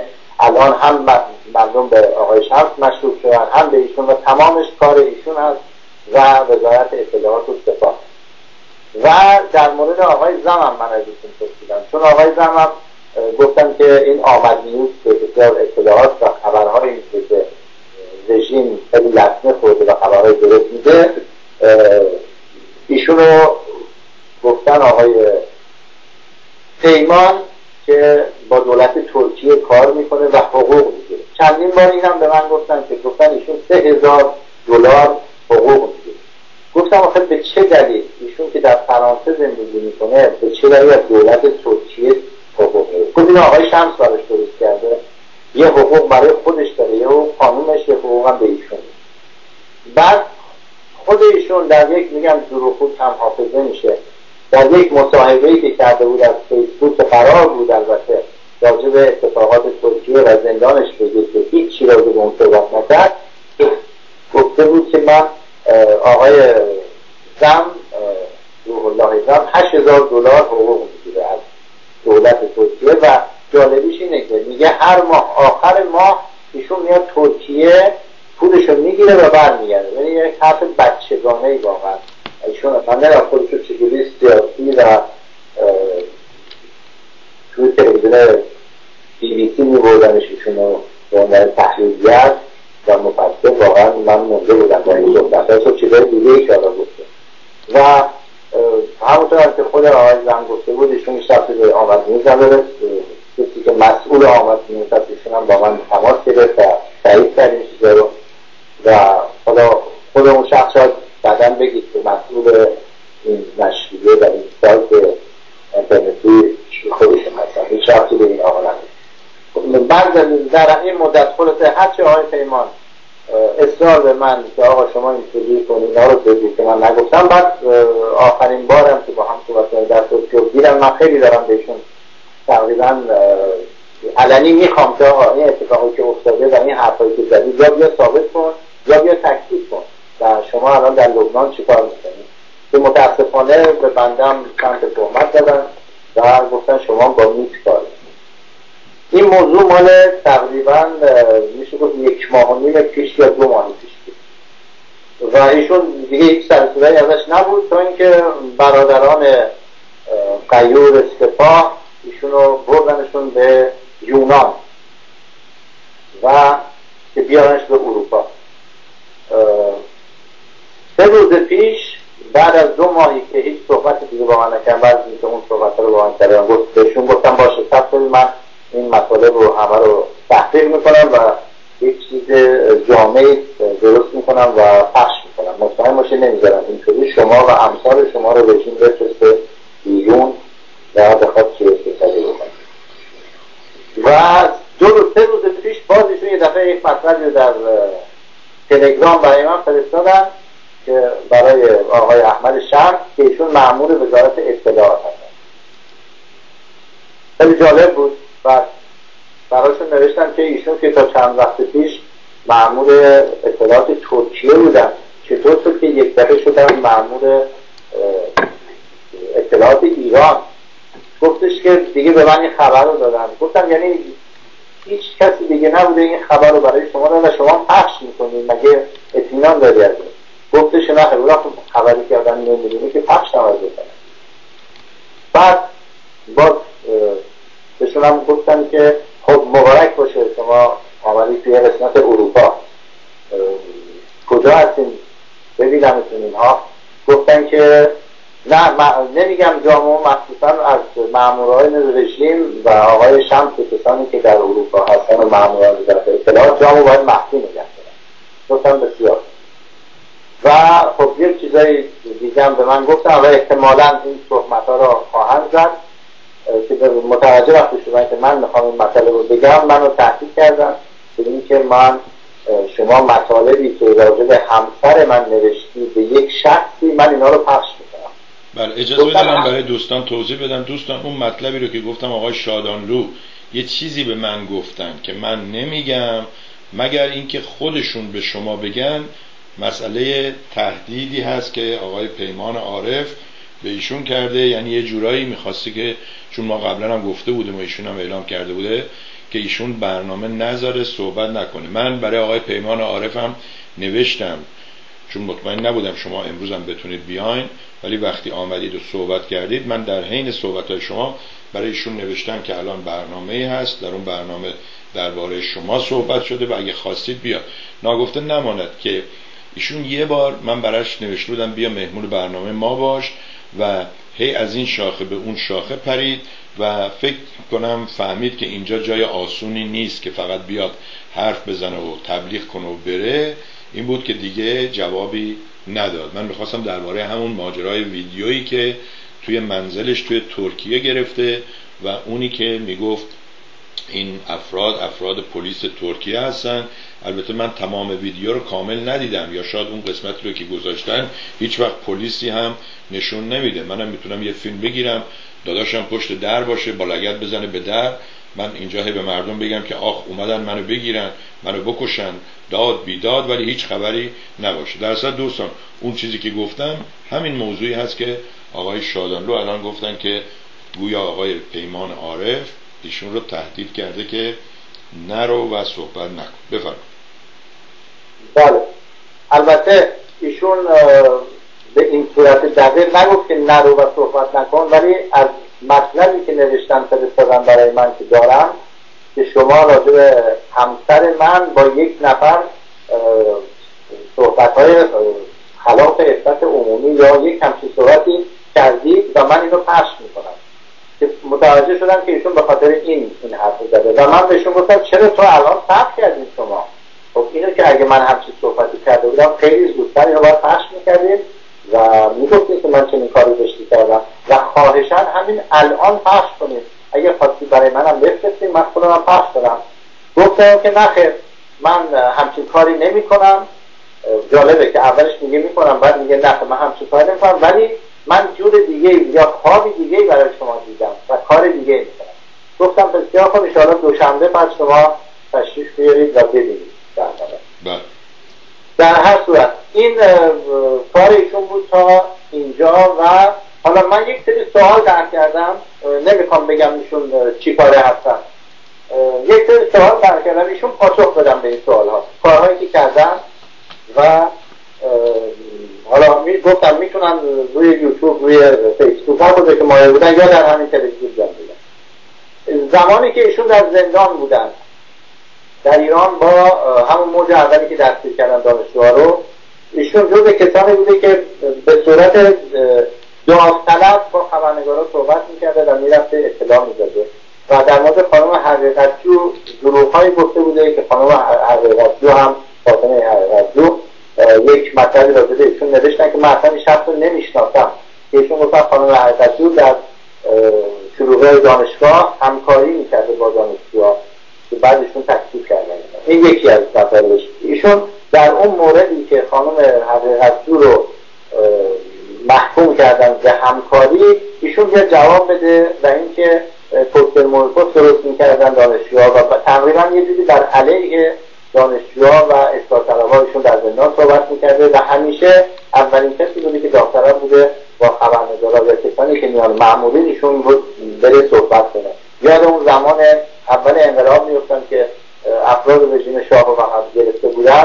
این عمرای ارتش متاسفانه نوبت میذاشتن برای تعظیم کردن به کاستارا و عوامل رژیم نوپای جمهوری اسلامی که خودفروشی کنن و افراد دیگر رو بفروشن و بگن این تو زندان اینو گفته این کارو کرده که مثلا یا پاداشی بگیرن یا از زندانشون کم بشه یا این کارا. متاسفانه اون رژیم می‌کرد. این آقا این کارا تو زندان کرده بوده ایشون خبرنگارهایی که در زندان بودن یک نامه ای میدن برای بیرون برای این زمانی که نماینده پل می آمده به ایران که این نامه رو برسونن به دست اونا. آقای پیمان عارف میگه که نامه رو به من بدین من میدم. خانم این هفته میاد منو ببینه نامه رو میدم به ایشون. که ایشون برسونه خبرنگار و البته یکی از دوستان میگن که برسونه به دست خانم من خانم من می‌بره اینو میدن به اون نماینده. و آقای پیمان عارف پاکت رو می‌گیرن نامه رو و می‌برن میدن به خانمشون و میرن. هرچی بیرون تماس می‌گیرن که این نامه چی شد اون خانوم به شوهرشون در زندان شوهر اون کسی که نامه رو فرستاده میگه که خانم پیمان عارف سه بار حالا قرار گذاشته و سر قرار نمیاد اصلا. و نامه رو نمیذاشتن که بدن به نماینده سازمان ملل. و بعد از مدتی هم که نامه رو میدن اون خانم دیگه موقعی نبوده که نامه رو برسونن اون شخص رفته بوده. نامه باز بوده و این خانم به شوهرش در زندان اطلاع میدن که نامه دیر رسیده و نامه رو باز کردن و نامه بعدا دست بازجوهای زندان اوین بوده. در مورد کسانی که در زندان اوین میبردن برای بازجویی اون نامه رو اونجا دیدن که برگشته در زندان و دست اونها و اونها رو اذیت می‌کنن خبرنگارا به خاطر اون نامه که چرا این نامه رو این یک. دو ایشون آقای مسعود نواسانی که از جز همین اصلاح طلبا و مطبوعاتی ها بوده. وقتی میاد خارج از زندان میاد بیرون و میاد خارج. ایشون یک ساکی داشته. اطلاع میدن که این خانمشون که این ساک رو باید برسونیم به ایشون به ترکیه. توی این ساک یه سری مدارک و مسائل آقای پیمان آره میرن و پنجاه هزار تومان پول می‌گیرن که من اینو یک اتوبوس می‌شناسم. رانندش آشناست اینو بدین من میدم به این بعض برای ترکیه برسونه به دست آقای لواسانی ساکو میرن می‌گیرن پولم می‌گیرن. ساک هیچ موقع نمی‌رسه به دست آقای لواسانی بعد از مدتی خانوم فاطمه خردمند خانم مسئول لواسانی دستگیر می‌کنن و در بازجویی ها مدارکی که در اون ساک بوده روی میز بازجو قرار می‌گیره و از خانم خردمند می‌پرسن که اینها چیه اینا رو کجا می‌خواستیم بفرستیم. و بعد که از آقای عارف می‌پرسن آقای عارف میگه من اینو دادم به اون راننده و دیگه نمی‌تونم باش تماس بگیرم نمی‌دونم چیکار کنم. این دو این دو تا سوال که ایشون جواب بده اگر واقعا خودش رو وابسته به جایی نمی‌دونه و اونطوری که میگه در تلویزیون ها می‌گفته و الان خودشو معرفی می‌کنه بیاد پاسخ بده در مورد گفتم در مورد اون شلاق خوردنشون که ایشون میگه توهین کردن به آقای احمدی نژاد و آقای احمدی نژاد ایشون دستی دادن ایشون گرفتن شلاق دادن. که این البته این نیست پروندهش مشخصه به خاطر هشیش بوده. حالا خودشون اینم بیان توضیح بدن که به خاطر چی شلاق خوردن و کجا توهین کردن و کجا ثبت هست و اینکه اون یکیش ثبت شده است. اینکه در مورد مواد مخدر هست ثبت شده است. ولی در مورد توهین جایی ثبت نشده. اگه ایشون دارن مدرکی بیان ارائه بدن. یکی دیگه آقای به اسم یک روحانی مخالف به اسم آرش هنرور ایشون می‌خواسته از کشور خارج بشه. با ایشون تماس می‌گیره. به عنوان اینکه این آدم آدم درستی و آدم ملی هست و مخالف رژیم هست و ایشون چون خانوادهتون در تبریز زندگی می‌کنن آقای پیمان آره به این آقا میگن شما برید اونجا کسانی هستن که شما رو می‌تونن منتقل کنن به خارج از کشور. و میرن شب خونه مادر خانم پیمان عارف و صبح زود از اونجا بیان بیرون که شما رو می‌برن. اون کسی که مسئول این کار هست و نمی‌دونم پول ازشون گرفتن یا نه اونو نمی‌دونم. ولی اون کسی که مسئول بوده ببره ایشون بیرونو میان و میگن که ساعت صبح زود بیاین از خونه بیرون شما رو می‌برن. ایشون آقای آرش هنرور وقتی از خونه خانم مادر آقای پیمان میان بیرون ماموران وزارت اطلاعاتشون دستگیر می‌کنن و هنوز هم در زندان هست این هم یک سواله که ایشون بیان پاسخ بدن که ایشون خونه مادرش خانه آره چیکار می‌کردن و چرا دست ایشون آیا این حقیقت داره یا بعد مسئله جبهه ملی هم که گفتم که ایشون خودشون رو همه جا عضو جبهه ملی معرفی می‌کنن. برای آقای عزیز نامه دادن و تکلیف کردن. و اصلا هیچ ارتباطی با ما نداره. برای خب از عکس بزرگ مرد تاریخ ایران دکتر مفضل استفاده می‌کنن متاسفانه به خاطر پوشش همونطور که گفتن مجاهدین هم از این کار می‌کنن و پرچم ایران هم میدارن. و آقای روحانی نماینده آقا و کسی که 25 سال رئیس انجام رئیس امنیت ملی این روحانیت بوده ایشون هم اخیرا از در همین انتخابات از عکس دکتر مصدق استفاده کرد آقای شادان رو ببخشید من حرفتون رو قطع می‌کنم. در رابطه با مجاهدین صحبت کردیم. احتمالا اونها هم در حال برگزاری یا آماده شدن برای دوباره همین شامورتی بازی های هر ساله هستن نه؟ بله بله. اول ژوئیه یه برنامه مفصلی گرفتم و یک سری از ترکیه در از کشورهای عربی دعوت کردن از امریکا و جای دیگه. یعنی کسانی که بازنشسته شدن و آدم های میشه گفت حالا این اسم دادم خوب نباشه ولی الان نمی‌دونم یه سری خائنی که به کشورشون و دنبال پول هستن. اینها رو پیدا کردن دوباره و براشون دعوتنامه فرستادن. حالا چند وقت دیگه اعلام می‌کنیم. و اینها رو دعوت کردن به زیرفن پاریس به اضافه دوباره کشورهای کمونیستی و الان توی کشورها دارن میچرخن که آدم جمع کنن با اتوبوس بیارن برای اون برنامه. بله. یک ماه دیگه این برنامه برگزار مسئله بعدی پنجم که باز ایشون باید باید از اگر مایل بودن. آمدن ایشون به ترکیه. وقتی در ترکیه می‌رسن در شهر وان ترکیه ایشون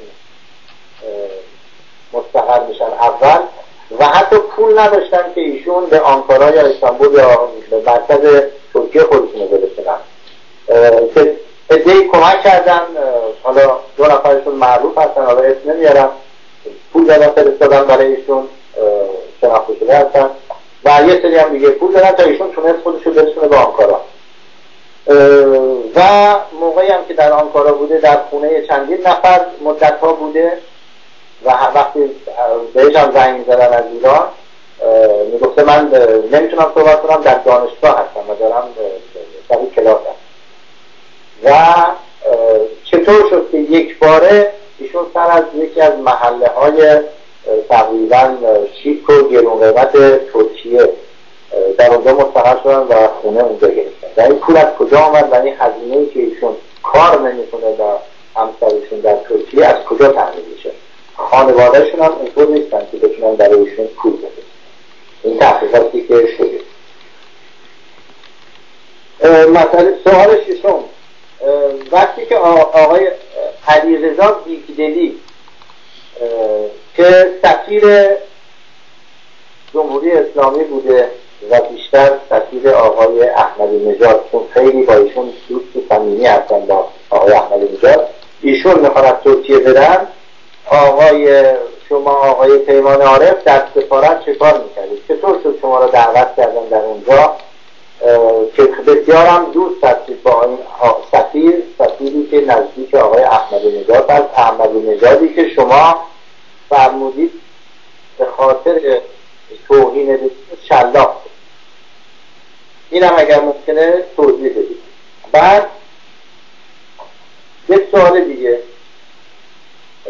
شما در ارتباط هستین با یک شخصی که ایشون برادر ایشون حاج باقری نماینده رهبری هستند در سپاه ولی امن. و داماد آقای خامنه ای هستند. دختر آقای خامنه ای به اسم خدا رو گرفتن. شما با برادر ایشون و ایشون در تماس هستید. بودید در ایران و الان هم در تماس هستید. شما چه جور آدم ملی و مبارزی هستید که با شخص شناخته شده وزارت اطلاعات ایشون یکی از های وزارت اطلاعات و معاون وزیر هستن. حالا اسمشون اشاره در خدمت بگید ارتباطتون با ایشون چی هست و چند جام شما معرفی کردیم که این آقا بازجوی شما بوده. به دروغ. برای اینکه یه جاهایی صحبت کردید و وقتی پرسیدن گفته ایشون بازجوی من بوده ولی چون آدم خوبی هست من باش در تماس هستم.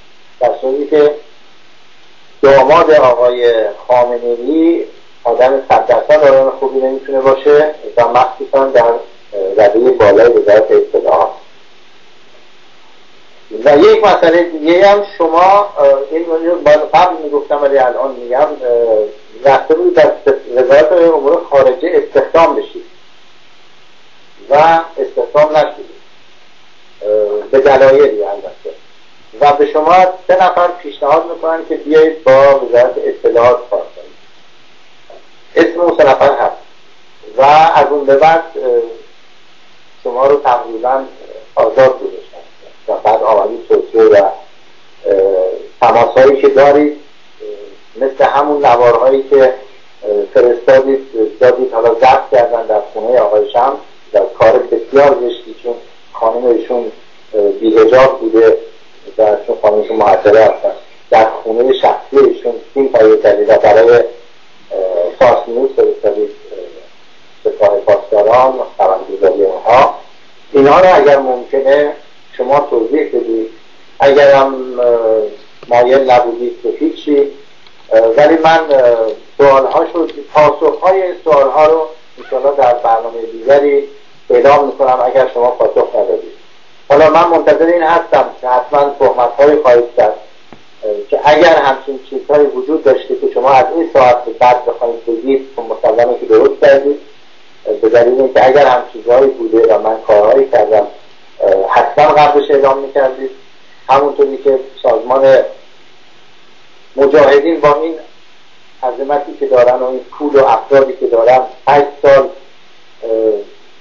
هر به هر جایی ممکن بود رجوع کردن یه مطلبی راجع به من پیدا کنن یک چیز خلافی پیدا کنن پخش کنن و نتونستن اون کتاب رو برداشتن چاپ کردن و از پنتاگون نامه چاپ کردن که من معمول وزارت اطلاعات هستم و اون کتابم آمدن جمع کردن و دیگه حق انتشار نداره چون همش دروغ بود.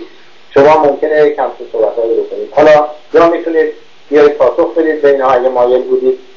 و اگر هم نه که سیرش بینندگان و شنوندگان عزیزم خودشون می‌تونن تشخیص بدن که ایشون چی هست و به چه دلیل آها این هم این سوالم لطفا بگید. به چه دلیل لبنان انتخاب کردید و کی در بازداشتگاه ترکیه به شما گفتن برید لبنان که ما اونجا شما را محافظت کنیم و بعد بتونیم شما را بیاریمتون به اروپا کما که همونجا محافظت کردن و آوردنتون به یونان. آقا اجازه بدید. من این سوال یه بار دیگه بپرسم. دوستان شما اگر با جمهوری اسلامی مخالف باشید حاضر هستید برید لبنان؟ من این سوال از شما بینندگان می‌کنم. ضمنا این قسمت برنامه شما رو به غیر از اینکه روی یوتیوب می‌ذارم اون رو هم جدا می‌کنم. برای خودتون میفرستم. اگه خودتون خواستین روی یوتیوب بذارید یا اگه خواستید من روی یوتیوب می‌ذارم با اسم شما که روی فیسبوک هم بتونن پاسخ بدن. هم شما از ایشون دعوت کردین که بیان پاسخ بدن هم تلویزیون مردم چون اسم ایشون برده شده دعوت می‌کنم که بیان و جوابگو باشن و دوستان عزیز شما هم دنبال کنید. این برنامه رو هم روی فیسبوک. باز خواهش می‌کنم از آقای شادرلو پیگیر باشن. من این ویدیو رو بر نمیدارم تا شما بتونید اونجا با دوستان در تماس باشید. من ساکت میشم. باز شما اگر صحبت دارید بفرمایید. ممنونم از شما. بله دوستانی که الان این صحبت ها رو شنیدن خیلی ها بودن که منتظر بودن بارها به من گفته بودن. گفتم نه به خاطر اینکه حالا بیام مطالبی راجع به آقای پیمان عارف بگم. البته چرا؟ اینم نباید بحثی کنم که بسیاری خودشون نمی‌خواستن بگن و من مثلا خواهش می‌کنیم اینها رو بگیم بشناسن مردم این آقای پیمان عارفی که کی هست و چه ضرر و لطمه به اپوزیسیون زده و در ترکیه چقدر جوانها رو اذیت کرده لو داده پول ازشون گرفته برای اینکه کارشون رو درست بکنه یا حتی یکی از دوستان می‌گفت برای من یک خونه گرفته بودم که این خونه از من 800 لیر در ترکیه پول می‌گرفت. بعد که ما خونه رو بعد از این مدتی دیدیم قیمتش فکر یا 300 تا بوده یا 500 تا که بقیهش رو ایشون می‌گرفته و خیلی کارهای اینطوری که البته لازم نیست اینها گفته بشه کارهایی که ایشون در ترکیه کرده. مهمترینش همین 89 تا سوالی بود که من از ایشون کردم که ایشون اگر مایل بودم بیان پاسخ بدم من دیگه صحبتی ندارم و اگر چنانچه پاسخ ندادن من با در یک برنامه دیگه پاسخها رو با اسامی اینها پیدا می‌کنم. و دوستان هم اگر مایل بودن می‌تونن روی فیسبوک مطلبی دارن یا با ایمیل یا فیسبوک یا تلگرام واتساپ همه جا من هستم با همین اسم یا جهان شادانلو یا جهانگیری شادانلو تماس بگیرم سوالی داشتن بفرمایید در خدمتتون هستم.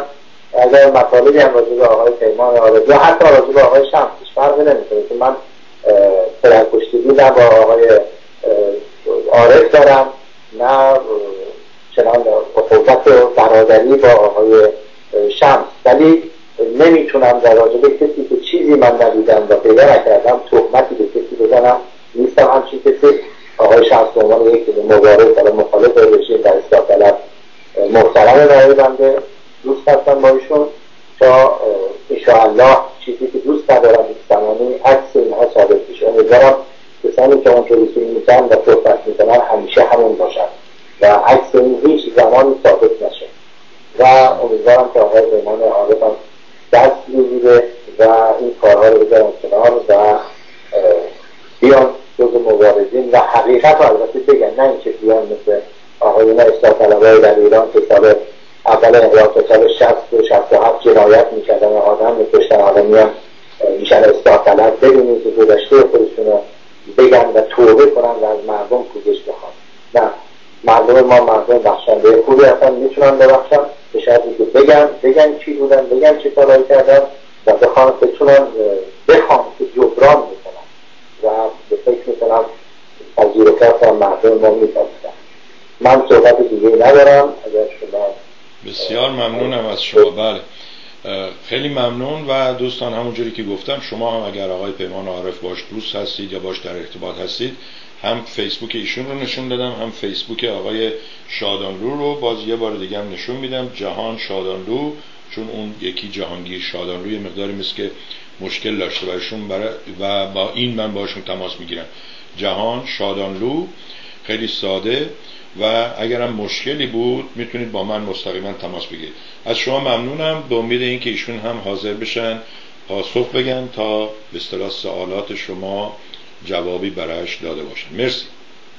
ممنونم و شب میگم به دوستان. ولی سوالات حتما مال من نبوده. مال خیلی از مردمی بوده که ایشون رو و کسانی که دارن مبارزه می‌کنن و ایشون اگر مایل بودن به مردم پاسخ بدن بیان جواب اینها رو بدن مرسی و شب همگی شب و روزتون خوش. مرسی.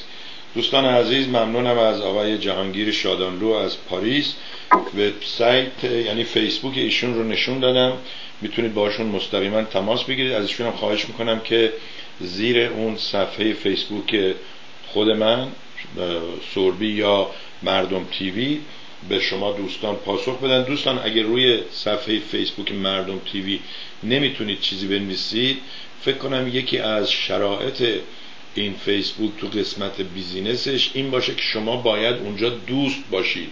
حالا این دوست و دشمنی فیسبوک هم معلوم نشد. و جالب بود آقای شادالو توضیح دادن که من با آقای شمس دوستم تا روزی که به اصطلاح عکسش ثابت بشه. اینجا تو آمریکا هم اینه. میگن همه بیگناه هستن تا به اصطلاح گناه کسی ثابت بشه. ولی گویا آقای پیمان عارف قبلا می‌خواسته لابد به این دلیل که مشکلی داشته با آقای شمس آقای شادانلو بیاد و بگه که ایشون معمور هست. آقای شادانلو میگه من معمور نیستم و خبر ندارم که کی معمور هست کی نیست. شما خودت بیا بگو. آقای پیمان عارف اگر شما می‌خواین بگید که آقای شمس معمور هستن بیاین تو تلویزیون مردم شما می‌تونید این کار رو انجام بدید. اجازه من تشکر کنم از دوستمون از خلیج فارس که در برنامه هفتمشون درباره عقل از تلویزیون مردم تعریف کردن و گفتن که تلویزیون مردم جایی هست که مخالفین با من هم می‌تونن بیان صحبت کنن مخالفین با همدیگه هم می‌تونن بیان صحبت کنن. یک بار دیگه اجازه بدین تشکر کنم از آقای حاطف خواننده خوبمون که فیلمی رو درست کردن به نام مسافر و این فیلم رو من به شما نشون میدم و برنامه رو به این صورت ادامه میدیم که برنامه های کانون آوا برنامه های آقای ارشاد برنامه خود من و دو تا فیلم یکی فیلم مسافر یا تراولر یکی دیگه هم چهار اصفهانی در بغداد. این رو بین این برنامه ها می‌ذارم. شما هم می‌تونید به اصطلاح ویدیوهای خودتون رو از تلویزیون مردم پخش کنید با هزینه خیلی کم. شما هم می‌تونید ویدیوهای خودتون و برنامه های دیگران رو مجانی از مردم report dot com پخش کنید. بدون هیچ هزینه ای مردم dot com اون بالا نوشته خیلی ساده اگه کسی ویدیویی ساخته باشه روی یوتیوب گذاشته باشه می‌تونه از اونم استفاده کنه چون خیلی ساده است. و مردم تیوی و صفحه مردم تیوی اینا هم هست با هزینه بسیار کم. بله شما هم می‌تونید در تلویزیون مردم برنامه داشته باشید. از اینکه با ما بودید ممنون متشکرم. تلویزیون مردم رو به دیگران معرفی کنید. لحظه ای به من فرصت بدید تا سیستم رو عوض کنم.